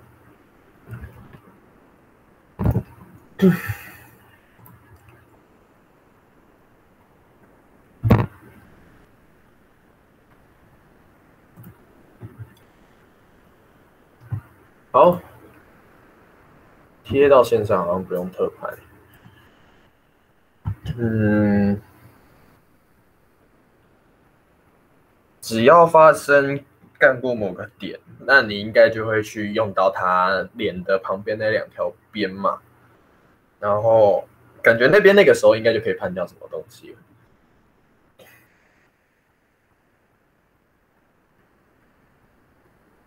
哎，想一下哦。完美的穿出一条边的话，内外关系会一定会一样吗？好像不一定哎，就是就就贴到边上，好像要再多判一个点这样子。是你要判断你这条射线出去之后的那个点，再再过去的那个点，然后它是它的外基方向是怎样？因为它今天，因为它今天是可能凹的嘛，所以它那个线。就有点像是说，呃，我想想看有没有办法画出一个例子，就是你现在这个点，然后你做的射线是这样子，然后只是，诶，就是你这个边可能是往这边歪，然后它可能在这边绕一大坨绕过来。或者是它就像这个一样，然后就变成你这条边穿过去的时候，它的那个内外关系就可能会不太一样，就是你还要再多判这个点，就整个超麻烦的啦。遇到点的时候就跳出来再 render 另一个方向。哦，对对对，也可以也可以。如果撞到点的话，就这样子，这样子也是可以。但我呃，我主要看射线法上面，就是演算法笔记上面。呃，如果你不觉得难写，而且不怕什么浮眼数误差干爆你的话，那呃，对，的确可以再 render 另外一个方向。这应该就是上次陈瑞过我们那题的方式哦，我猜。对，然后然后我们好像就干了一个测字，是很多条边的多边形，就是它基本上就是一个圆形了。就后来好像还是有被它射到一个。没有没有抽到点的地方，我不知道我不知道是不是这样啊，但可能是我们那次正解是全道法，然后我记得里面的测资这种东西应该可以公开测资吧，反正我也没有详细的数字，反正我们还还有准备一个多边形，有点像是一直这样绕圈圈，然后再绕绕出来，我有大概类似这样的测资，这是讲义上你们看到的那个。有够了，但是全道法如果写的写的，其实我觉得全道法，哎，所以刚刚应该没有人在聊天室里面打说没有要没有要听实作吧？那我们就来讲一下实作吧。哎，林绿颖吃完东西回来了没有？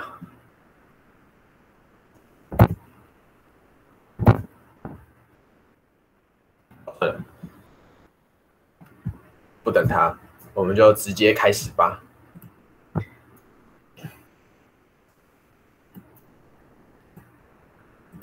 A，按照我们刚刚的讨论，我们想要判断一个点是否在多边形内部，我们可以用类似刚刚讨论闭合曲线的方式去看，说，呃，实际上我视角的夹角和最后到底是零还是不是零？可是这么我们。这么做会有一可能会有一些误差，所以我们就有另外一个做法。首先就是呃，由于你是列举多边形的某个点，然后呃，这么讲好了，呃，你是用边去每一条边去计算那个所谓的夹角的。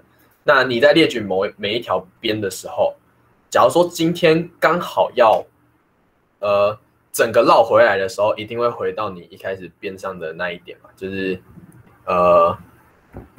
比如说，你一开始你按照逆时针去，这个逆时针，所谓逆时针应该是怎样？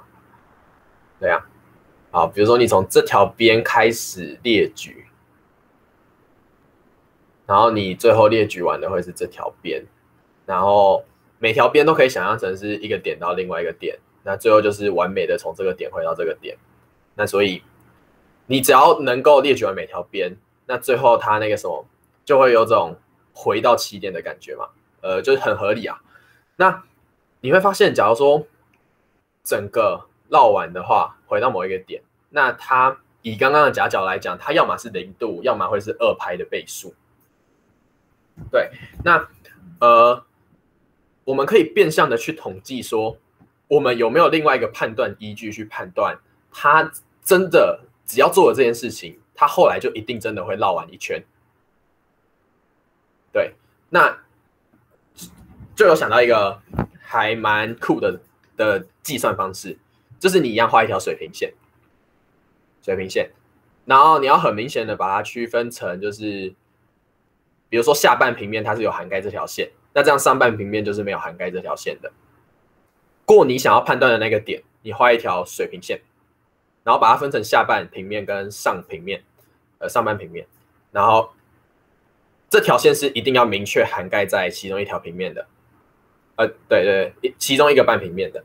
好，那你列举每条边的时候，如果有出现跨区的行为，有出现跨区的行为，那你就马上统计它是对于这个点是逆时针跨区还是顺时针跨区。对，那如果比如说你逆时针跨区，你就加一；那如果你是顺时针跨区，你就减一。有点像是说，你只要跨区，后来你一定会。让它绕完一圈，除非你曾经出现某一个顺时针跨区，让它把那个刚刚你认为可能会绕完一圈的逆时针跨区给抵消掉，懂我意思吗？就是呃，跨区的时候，你去统计它是逆时针还是顺时针，你每次每一个逆时针或顺时针的跨区，你都把它视成它会朝某一个，比如说逆时针跨区，你就假设它后来会朝逆时针方向真的转一圈。除非曾经出现某一个顺时针跨区，那那个绕圈就会被取消掉，就是这个是可以相互抵消的。那最后你去把，那你把这个东西记起来，判断它是不是零，你的全绕法就做完了。对，然后它基本上根本没有什么边界问题，就几乎没有边界问题。对，就是不会像射线法，还有什么点什么挖哥，什么戳到边上。没有，都不屌，都不屌他。这呃，这是我刚刚说为什么一定要明确分成上下两区域的原因，就是这条线一定要属于某一区的原因。就是对于这种这个射线刚好通过某一个点的时候，这个点是可以很明确明确的被分出某一区的。然后要一定要出现跨区行为，我们就假设它一定是会让它绕一圈的某一个跨区，这样子。呃，好。那呃，假如说你不管是从下半还是下半跨到上半，还是上半跨到下半，你你假如说跨区行为都都有加一减一的话，就是这样子也不会错啊。但是其实你也可以就选择其中某一区跨到另外一区的时候再统计就好。就是比如说底下我们看那个十座的 code，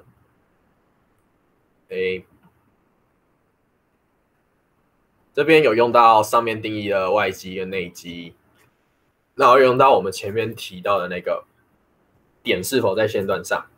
呃，我做这个原因是因为我一开始想要先把，如果这个点它就在多边形上面的边上面的话，我就马上先把它判掉。如果没有的话，我就明显的确定它是内部或外部嘛，我就可以直接安心的做全套法。那呃，对我这边的做法是。前面这两个 if 都是在检查到底有没有跨区，就是以 y 坐标画一条水平线，然后如果有跨区的话，就是我小于等于跟大于，只要有跨区的话，我在检查外机的方向。呃，像这个的话，假如说我是逆时针列举点的话，i 到 i 加一是逆时针列举的话，然后对于我这个点，它 y 基又大于零的话，画个图。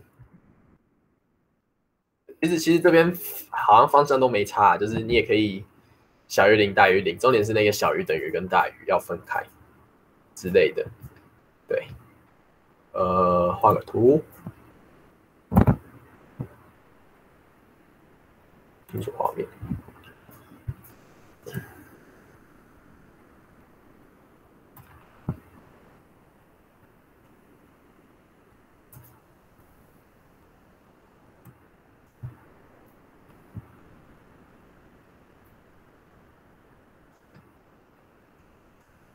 OK，诶，这个是我们的那个，这是我们的那个点，然后我们按照逆时针的方向。去列举多边形上面的边。好，那呃，一旦发生跨区，一旦发生跨区，比如说这边这个点发生了跨区，那我就这样子连两个向量，去判断它是逆时针跨过去还是顺时针跨过去了。像这个就是逆时针跨过去了，我们就可以加一。这边又跨过去了，那。呃，它是从下半平面到上半平面的，所以呃，你可以统一只统计其中其中一个半平面到另外一个半平面就好了。但是这边我们就一起统计。好，这个它如果穿过去的话，它其实如果你画好向量的话，它是顺时针过去的，所以要减一。好，那这个这边它这边跨区是用逆时针的跨区跨过去的，所以要加一。然后换这条边，这条边它对于这个点也是用逆时针的跨区。哎，好，这样所有的跨区就统计完了。那最后你的全道数就是二。对，那它不是零，所以点在多边形内部。酷吧，酷吧，我觉得蛮酷的，就是扣又很好写，又不涉及又又不涉涉及除法。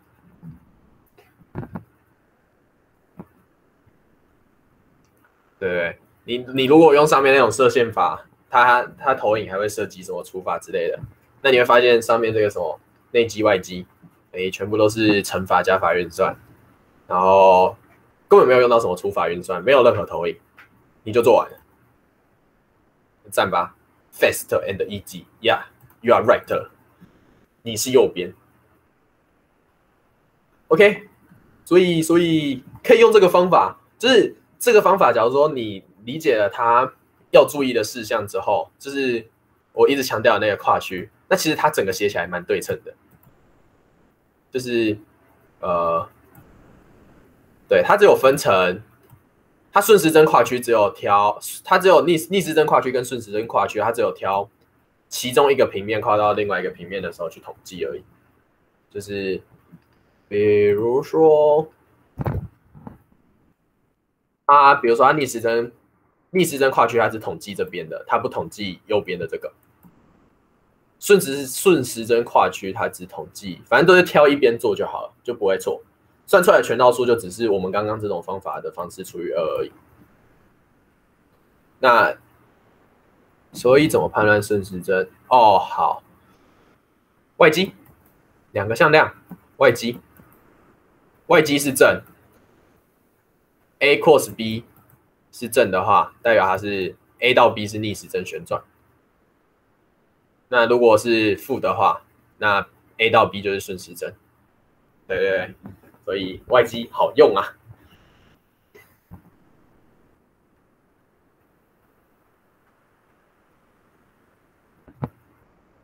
OK 吗？还有其他问题吗？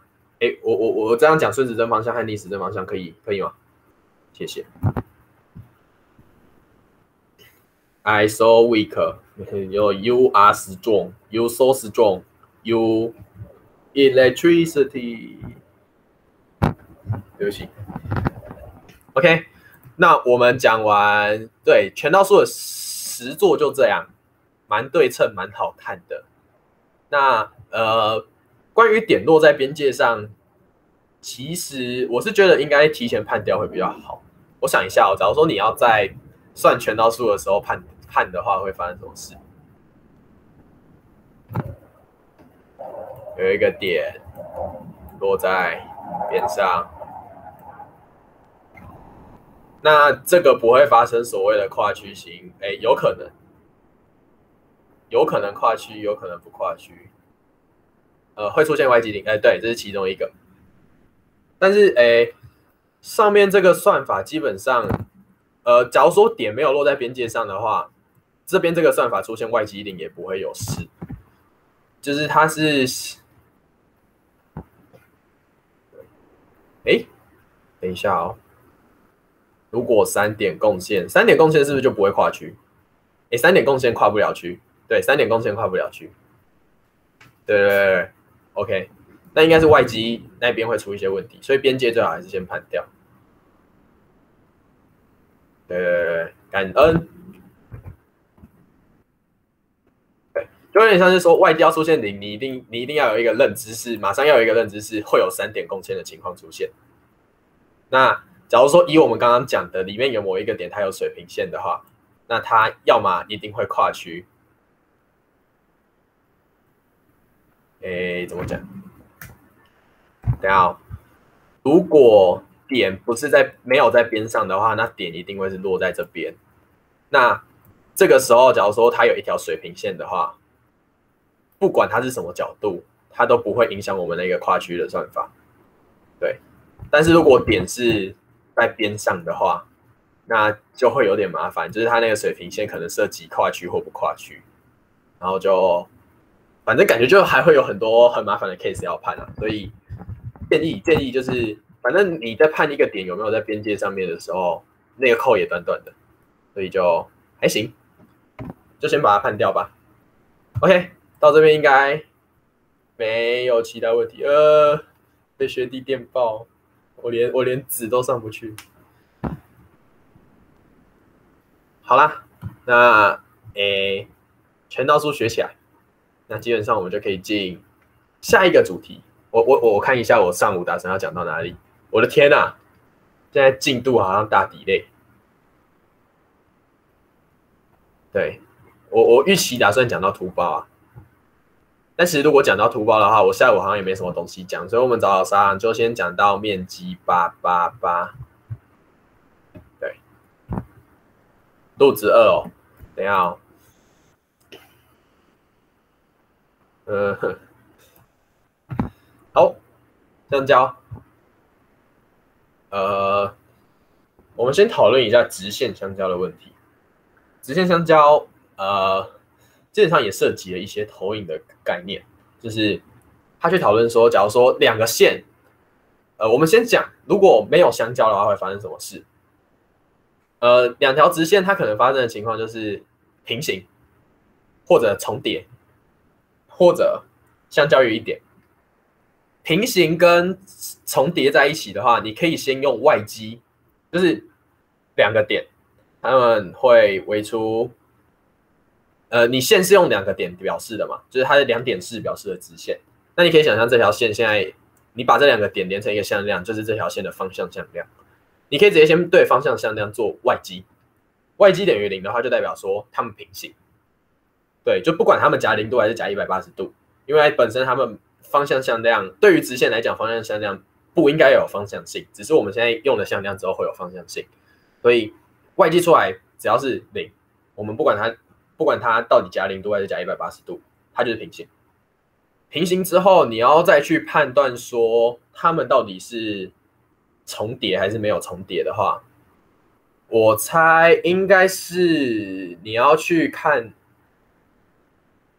呃，讲一下，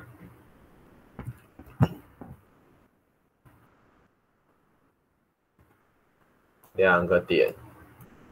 一条线又出现两个点，那假如说今天没有没有重叠的话，会是这样。呃，那应该就是拿其中一个拿一个线段的一个点，然后去到另外一个线段连连各自连向量去判断外积，就是这样子，应该可以确保说，呃，只要这样子外积都还是零的话，那他们会在会会会是完全重叠。那如果不是零的话，就不会这样子。对。就是利用到我们刚刚说 y 积等于零，一定出现过三点共线的状况，去判断说有没有三点共线的情况出现。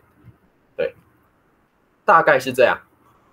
那你用这件事情检查出来之后，假如说以上那两个 case 都不是，那它们相交于一点，那题目间就有可能要你求两个直线相交的那一点的坐标是怎样。那我们就可以开始套一些数学的东西了。那根据以下的推导。就是用了一些小相似型之后，我们可以得到 A G 这段的向量会是，就是 A G 呃，先不要讲向量，呃，这边他利用了一些技巧做出了一个相似型，就是做了一些垂线，那他得出了一个比例是 A 一比 A F 等于 A G 比 A B。我们的目标是我们有 A 点坐标，我们想要求出焦点 G，我们只要有 A G 这个向量就可以得到 G 点。呃，对，不要想歪，好。然后，呃，重点来了，就是呃，要求 A G 的话，因为它跟 A B 同方向，我们又有 A B，所以这个向量一定是求出来的。A B 是已知项，那我们利用相相似型，把相关的比例套到这个 A 一跟 A F 了。那所以我们现在就是需要一点技巧去求 AE 跟 A F。我现在白板是用。没有香蕉的话，我本来要讲烂笑话，被讲走了。OK，完了，我才讲没多久，怎么就有种要烧香的感觉？好，那呃，怎么求 A 一跟 A F？我们看以下的两张图，它分别去，基本上就是。对于这个，对于这个 A 一，我们把它想象成是某个平行四边形的高，然后我们用 CD 当做底，画出这个 ACD，然后某个点的平行四边形。那我们要求出 A 一的话，哎，哦，好，还记得我们刚刚那个吗？点到直线的距离嘛？A 到 CD，我们 A 一其实就是 A 到 CD 的距离。那你就可以用我们点到直线的距离去把 A 一求出来。对，那先先不要先不要先不要求，就是先不要把 A 一求出来。我们先分析一下，就是 CA cross CD，它会算出这个平行四边形的面积。那右边这个式子，它的乘法，它是乘法的意思，就是它不是外积不是内积的意思，就是两个线段线段场乘起来的意思，就是它跟这边的乘号是外积不一样。这两个外积之后，会会是外积的方式求出来的平行四边形面积。那如果按照一般平行四边形的公式底跟边的话，你会发现它是 CD 场乘上 A 一场。OK，这个式子我们先保留。再来，我们再看有没有想办有没有办法让 AF 为底，然后 CD 一样为边。哎，有。这边可能要想一下，为什么 CD cross AB？会是整个大平行四边形的面积，你就可以平移一下。CD 你把它，比如说你把 CD 平移到上面平行四边形这个边，那 AB 你把它位移到这边这个点，就是让它们起点 A 跟 C 叠在一起。那你会发现这个平行四边形虽然长得不太一样了，可是它们的底边跟高都是一模一样的，所以它们外积出来的结果面积会是一模一样的。OK 吗？所以 CD cross AB 这个求出来的面积会是平行四边形的面积，那底一样是 CD，高一样是 AF。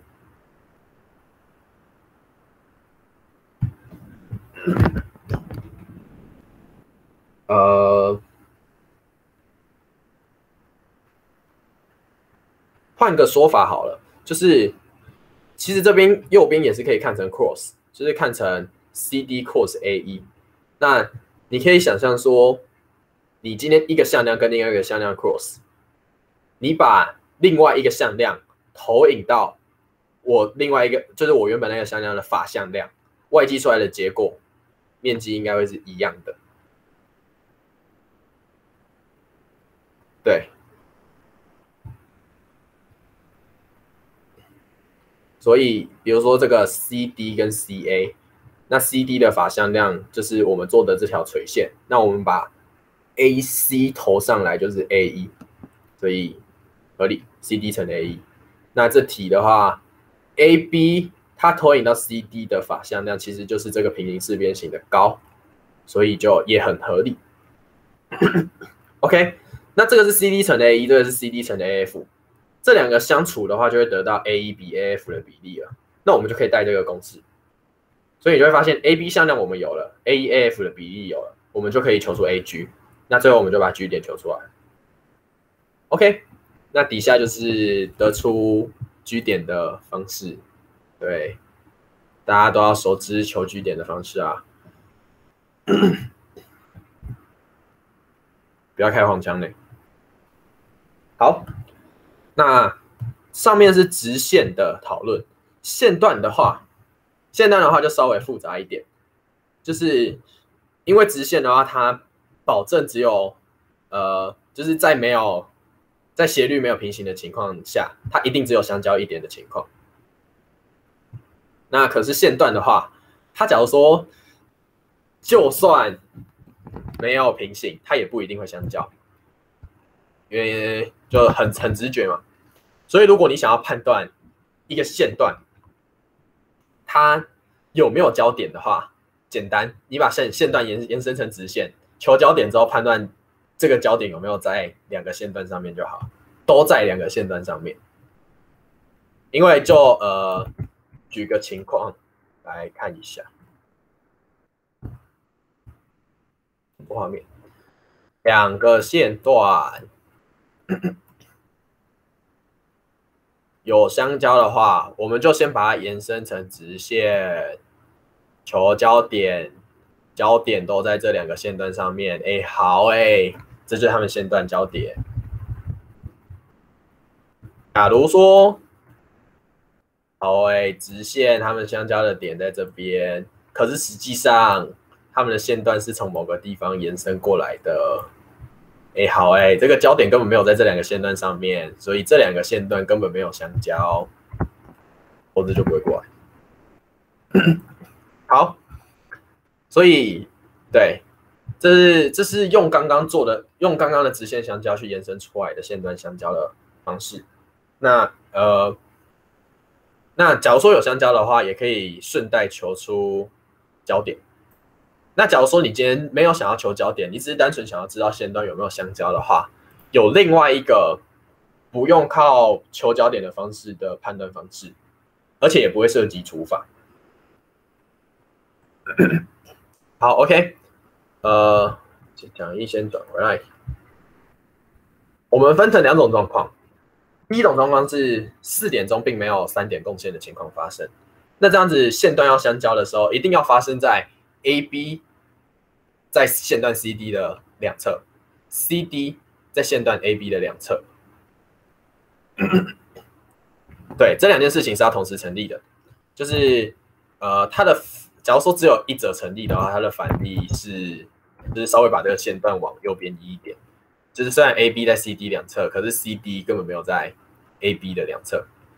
对，所以要都有在两侧的话，那他们才会有焦点。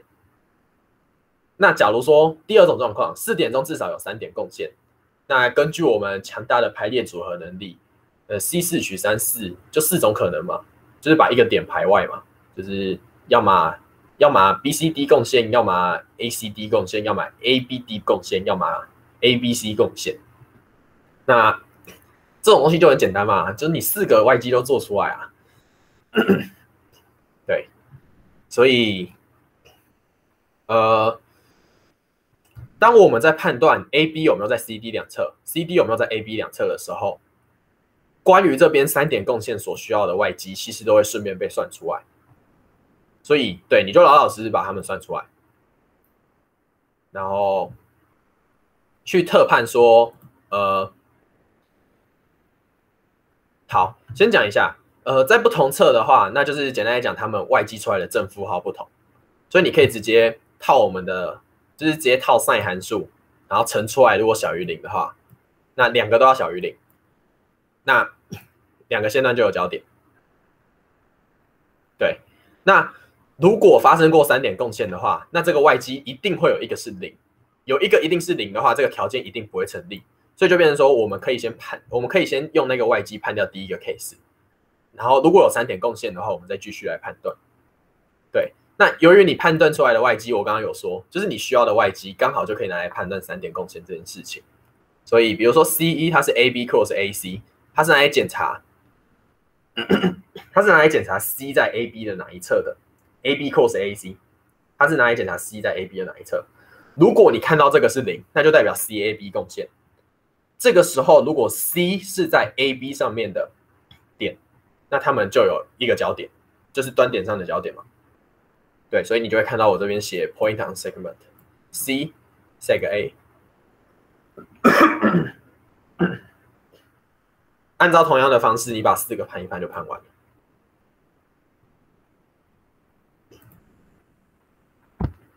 OK，那圆形的话。圆形的话，我没有去细究它的公式，就是感觉感觉这么长，应该也背不下来，就是可能只能放 codebook 之类的。对，那呃，圆形的话，我们要讨论它的相交的话，其实就一个最简单的相交是，它们有交于两点或者相切。或者是没有焦点，或者是一个圆就在其中一个圆里面，那那种东西应该会视为视为视为没有诶，等一下哦，一个圆，在一个圆里面，它们的圆心距会怎么样？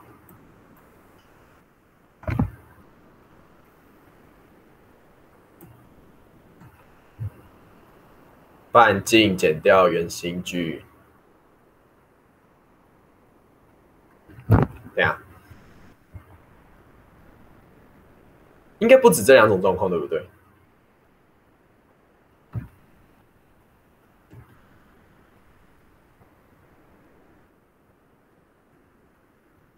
嗯，思考一下。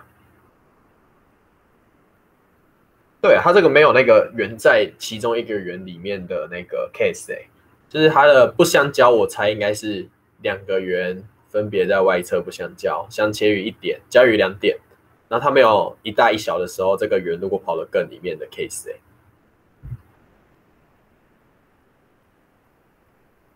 等下，我现在脑袋有点有点有点卡到，我有点忘记这种 case 要怎么判掉，就是。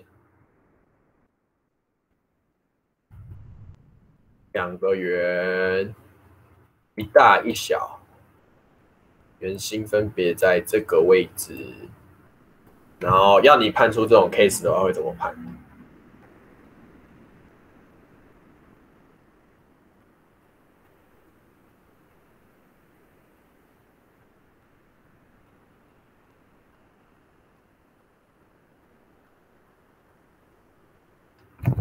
好，值得好好思考的问题。但是，呃，我等下想一下。然后，一样就是圆形如果有相交的话，那我们可以，我们也也一样要去讨论什么求交点的问题。如果是相切的话，那很简单嘛，就是相切于一点的话，那你可以借由两个圆心，就是内内平分线公式哦，然后去求出，就是按照那个半径的比例去求出交点。那如果是相交于两点的话，那你可以用一些向量旋转的方式去求出它。呃，就读这张图，你可以求出，你就先固定固定一个圆心，然后你拿 O one O two 的，你拿这个三角形，就是三个边长你都知道嘛，就是个别都是半径以及两个就圆心距，那你就可以算出夹角。算出夹角之后，你就可以做向量旋转，就是把 O one O two 这个向量旋转上去。那再再把这个向量缩放成对应的长度就好了。那这样你就有这段向量，你就可以获得焦点。对。然后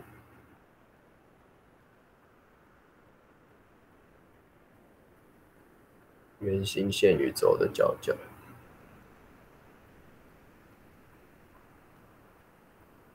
好，它这个意思应该是说，呃，你如果不想做向量旋转，但是一样还是会得用到三角函数，就是提前先把那个圆心线的角度求出来。然后你一样要把刚刚那个夹角算出来，然后你用那个夹角去带三角函数，然后再乘上对应长度去做出那个向量，对，那意思还是差不多啊，就是还是向量旋转的意思。那呃，distance o one o two 小于 r one 减 r two。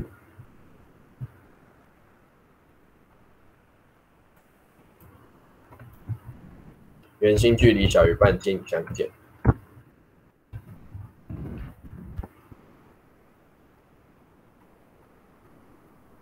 应该是，应该是，哦，只要考虑最极端的 case 就好了嘛，就是，呃，你想象它刚从相切两点变成进来的时候，谢啊，对对对对对，好，谢谢谢谢，对对对，就是呃。相切两点，假如说圆在进来之后，它又会变成相切。那这个时候你会发现，呃，两个圆心的距离会是半径直接相减。就是当圆心的距离等于半径相减的时候，那它们就是这个叫这个会叫内切吗？有点忘了。我记得应这样应该是外切，对一些可怕的名词。这是什么内弓切线，然后这是外弓切线，所以我在猜这个应该是外切。对，那我们现在外切。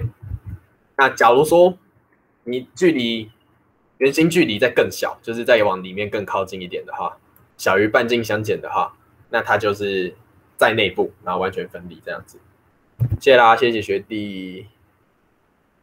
内内切吗？这样子是内切吗？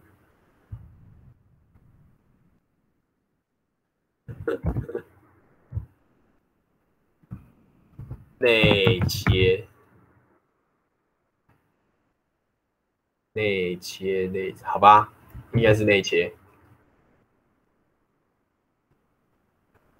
哦，好，呃，我大概懂那个意思了，就是 内功切线的内功切线跟外功切线的那个内外，应该跟一般内切外切不一样。对对对，好，没事，应该是内切，对，好。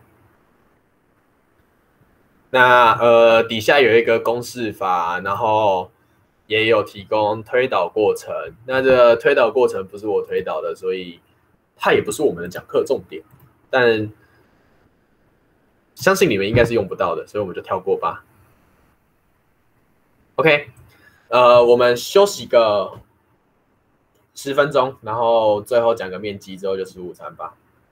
也以有问题可以问。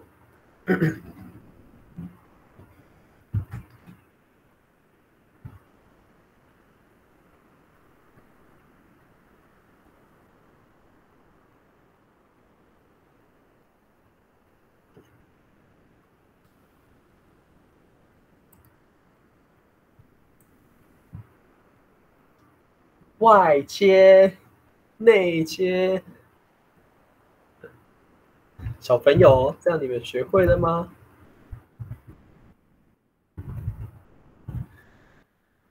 二十，我发现那个面积的讲课顺序有点错误，面积应该先讲的，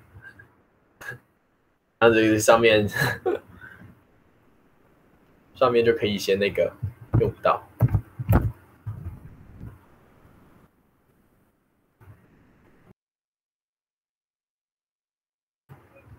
好诶，我刚刚看了一下，完了，我准备的内容好像真的不太不太多，可能下午下午再讲个一小时就讲完了，怎么办？怎么办？那那那我可以讲笑话，你是说再再讲个两小时之类的吗？这是对我来说是一个高难度的行为，我连讲个我连 hold 住个十秒的，哎，补眠好，对，这我喜欢。还是我可以直播玩《植物大战僵尸》给你们看，虽然你们可能觉得那是很废的游戏。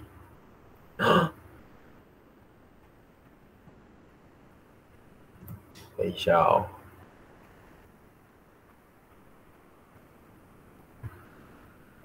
N H N H 哪个平台？PC 上面的《植物大战僵尸》。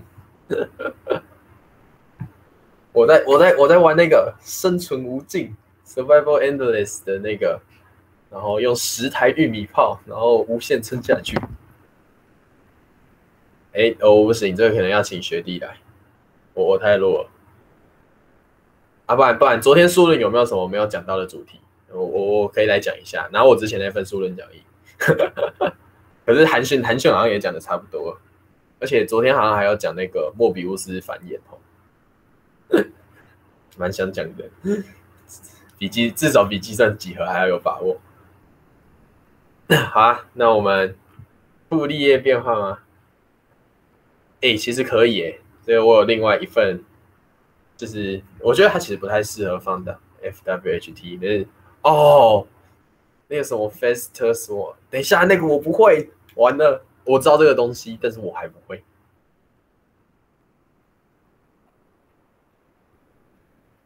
那那那，如果等下，哎，好啊，分赛的也也行啊，分，但是呃，如果你是说分赛想要怎么观察出来的话，感觉它出来的时候应该都蛮弱的。只是我写的题目也不多啊，就是好像有一次校内赛的摩天大楼。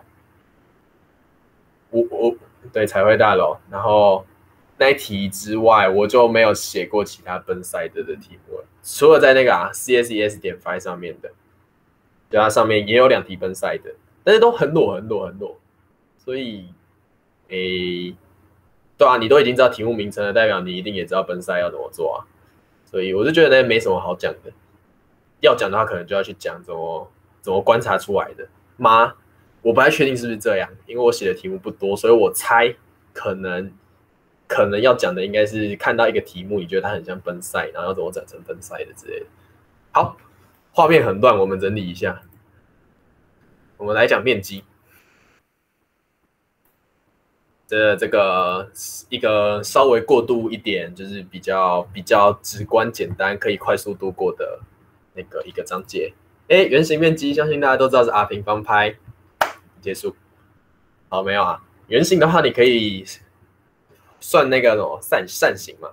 就其实跟圆形有关的面积，就是要算的话，应该就跟平常高中数学、国中数学遇到的差不多啊。就对，但是如果是什么圆形相交面积的话，感觉那个就是另外一个很可怕的东西了。就是，不然我们来想想看嘛。今天给你两个圆，问你它们重叠的面积。如果是给很多个圆的话，呃，我也不会做。这个的话，是不是把圆心画，就是按照这边，然后切一条线，然后把扇形求出来，然后扣掉这个三角形，把扇形求出来，扣掉这个三角形，就做完了。应该是，但是只有两个点，肯定不是，肯定不是计算几何会 handle 的简单题目。所以，如果很多个圆的话，我不会。所以我们还是回到开开心心的圆形跟扇形，就是 r 平方西塔吧。哎，二分之 r 平方西塔就是对，西塔是这个。哎，除以二的原因是因为如果整个二派的话，那你除以二就会是派，这样。哦。这个题目是你丢的奔赛的吗？奔赛裸题吗？还是什么裸题？哦哦，好，谢啦。Area of two circles。那我刚刚啊都裸题了，那我我还把解法跟你们讲，太可怕。哦，用积分？你是说你是说，假如说有很多个圆这样子吗？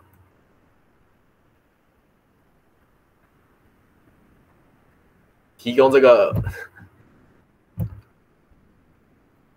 哎哎，假如说是相交完就是重叠的面积的话，呃，假如说另外呃有分 union 跟那个 intersection，然后两个我都不会做，哎，就感觉如果你要积分的话，好像也不是不行，哎，这样子是不是一天需要一条扫描线，然后去扫扫出什么？现在那个上下会出来的方程式什么的，不知道，感觉很恶心啊。呃，积分积分，而且积分也蛮估计的。但是，对啊，的确有一些。我我在大学有修一门课叫数值方法，然后 数值方法，然后它里面就介绍了有有一有一个 topic 在介绍微分跟积分，然后就是数值微分跟数值积分，然后怎么去减少误差，然后去分析误差的时候也是去分析说，因为比如说你们可能。啊！我又不行，按按按到清楚画面。比如说你们在算微分的时候，我不知道你们会微分的没啊？就是 f x 的时候，然后你们可能会用一个很接近 epsilon 的 h，然后用 f x 加 h 减掉 f x 去逼近那边的斜率。然后我们数值方法就在分析哦，这个误差项成长差不多是。H，那假如说，呃，你说，呃，泰勒也是一个拿来导这个导这个的方式啊，就是，对，要要用泰勒证这个误差项的那个成长趋势的话，我变成在讲这个，对。然后，如果就是我我再讲一个，就是我们数值方法大概讲的事情，就是哦，如果你用的是这种方法，哎，你这个误差项跟 h 是 h 的成长趋势哦。可是如果你用的是 x 加 h，x 减 h，然后分母用二 h，哎，这个是 h 平方哦，还是 h 三方啊？我忘记了，其中一个。那以 h 很接近零来讲，这个 h 上面的次方越高越好，就是误差项的成长趋势会。越成长越越越准确越精确这样子，对，然后就很酷啊！这是数值微分，为什么会讲到这个？因为刚刚在讲积分，是不是？好，我也不知道为什么要讲到这个。对，反正误差项的成长趋势可以用那个泰勒去得出来。好，小科普，小科普，我们我们快点回到我们的计算几何，三角形。哎，三角形其实还真的蛮多蛮多算法的，就是端看你拿到的资讯啊，你可以决定很多种算法。比如说，以我们国小生最喜欢的，你看到底跟高，我记得小时候有那个一套习题，然后就是画很多三角形，然后竖线上面，然后就告诉你很多底跟高什么的，那你就求面积，那那个太 low 了。上我刚上高一的时候有听到那个海龙公式，对，海龙公式的话就是。你求出三角形的周长，然后把它除以二，然后带入上面那个根号的那坨公式就好。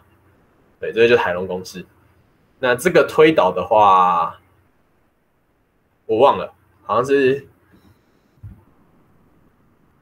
嗯，可能是三角函数拉一拉之类的。对，那这个是适用在今天给你的是三角形的三个边长，然后你完全没有点的坐标资讯的时候可以用。那最后一个可能是在计算机比较常用的，给定三个点，然后我们刚刚已经讲过了，外积出来是平行四边形的面积，我们把它除以二，就是三角形面积了。那使用实际的加绝对值。OK，那面积最后一个 topic 是简单多边形。其实简单多边形，我觉得有这个动画图去 handle 住就已经很棒。它的意思大概就是说。B 是什么？什么东西 B 是？哦，你是说海龙公司用 B 式定理去证吗？我也忘记了，方法好像很多。但现在如果要我想证明方式的话，我有点掰不太出来。嗯，好，回家作业，回家作业。好，呃，简单多边形的话。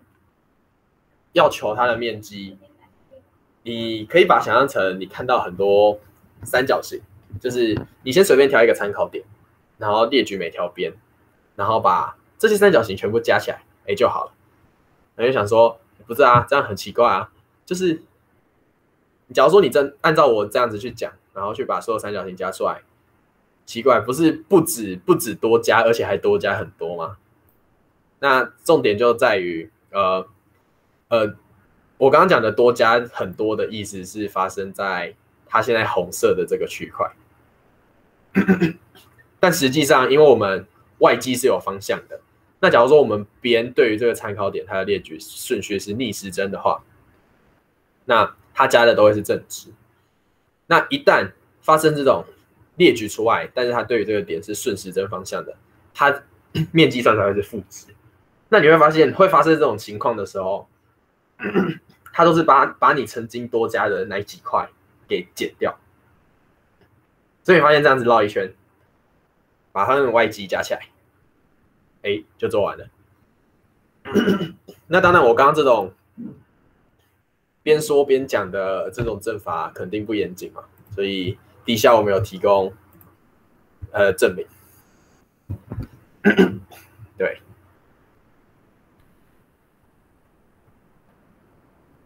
海龙公式两种阵法，正弦加余弦，呃，毕氏定理爆开，呃，我等下会试试的。我刚刚说除了要试那个这个以外，还有要试什么？好像还有要研究某个东西。完了，我忘了。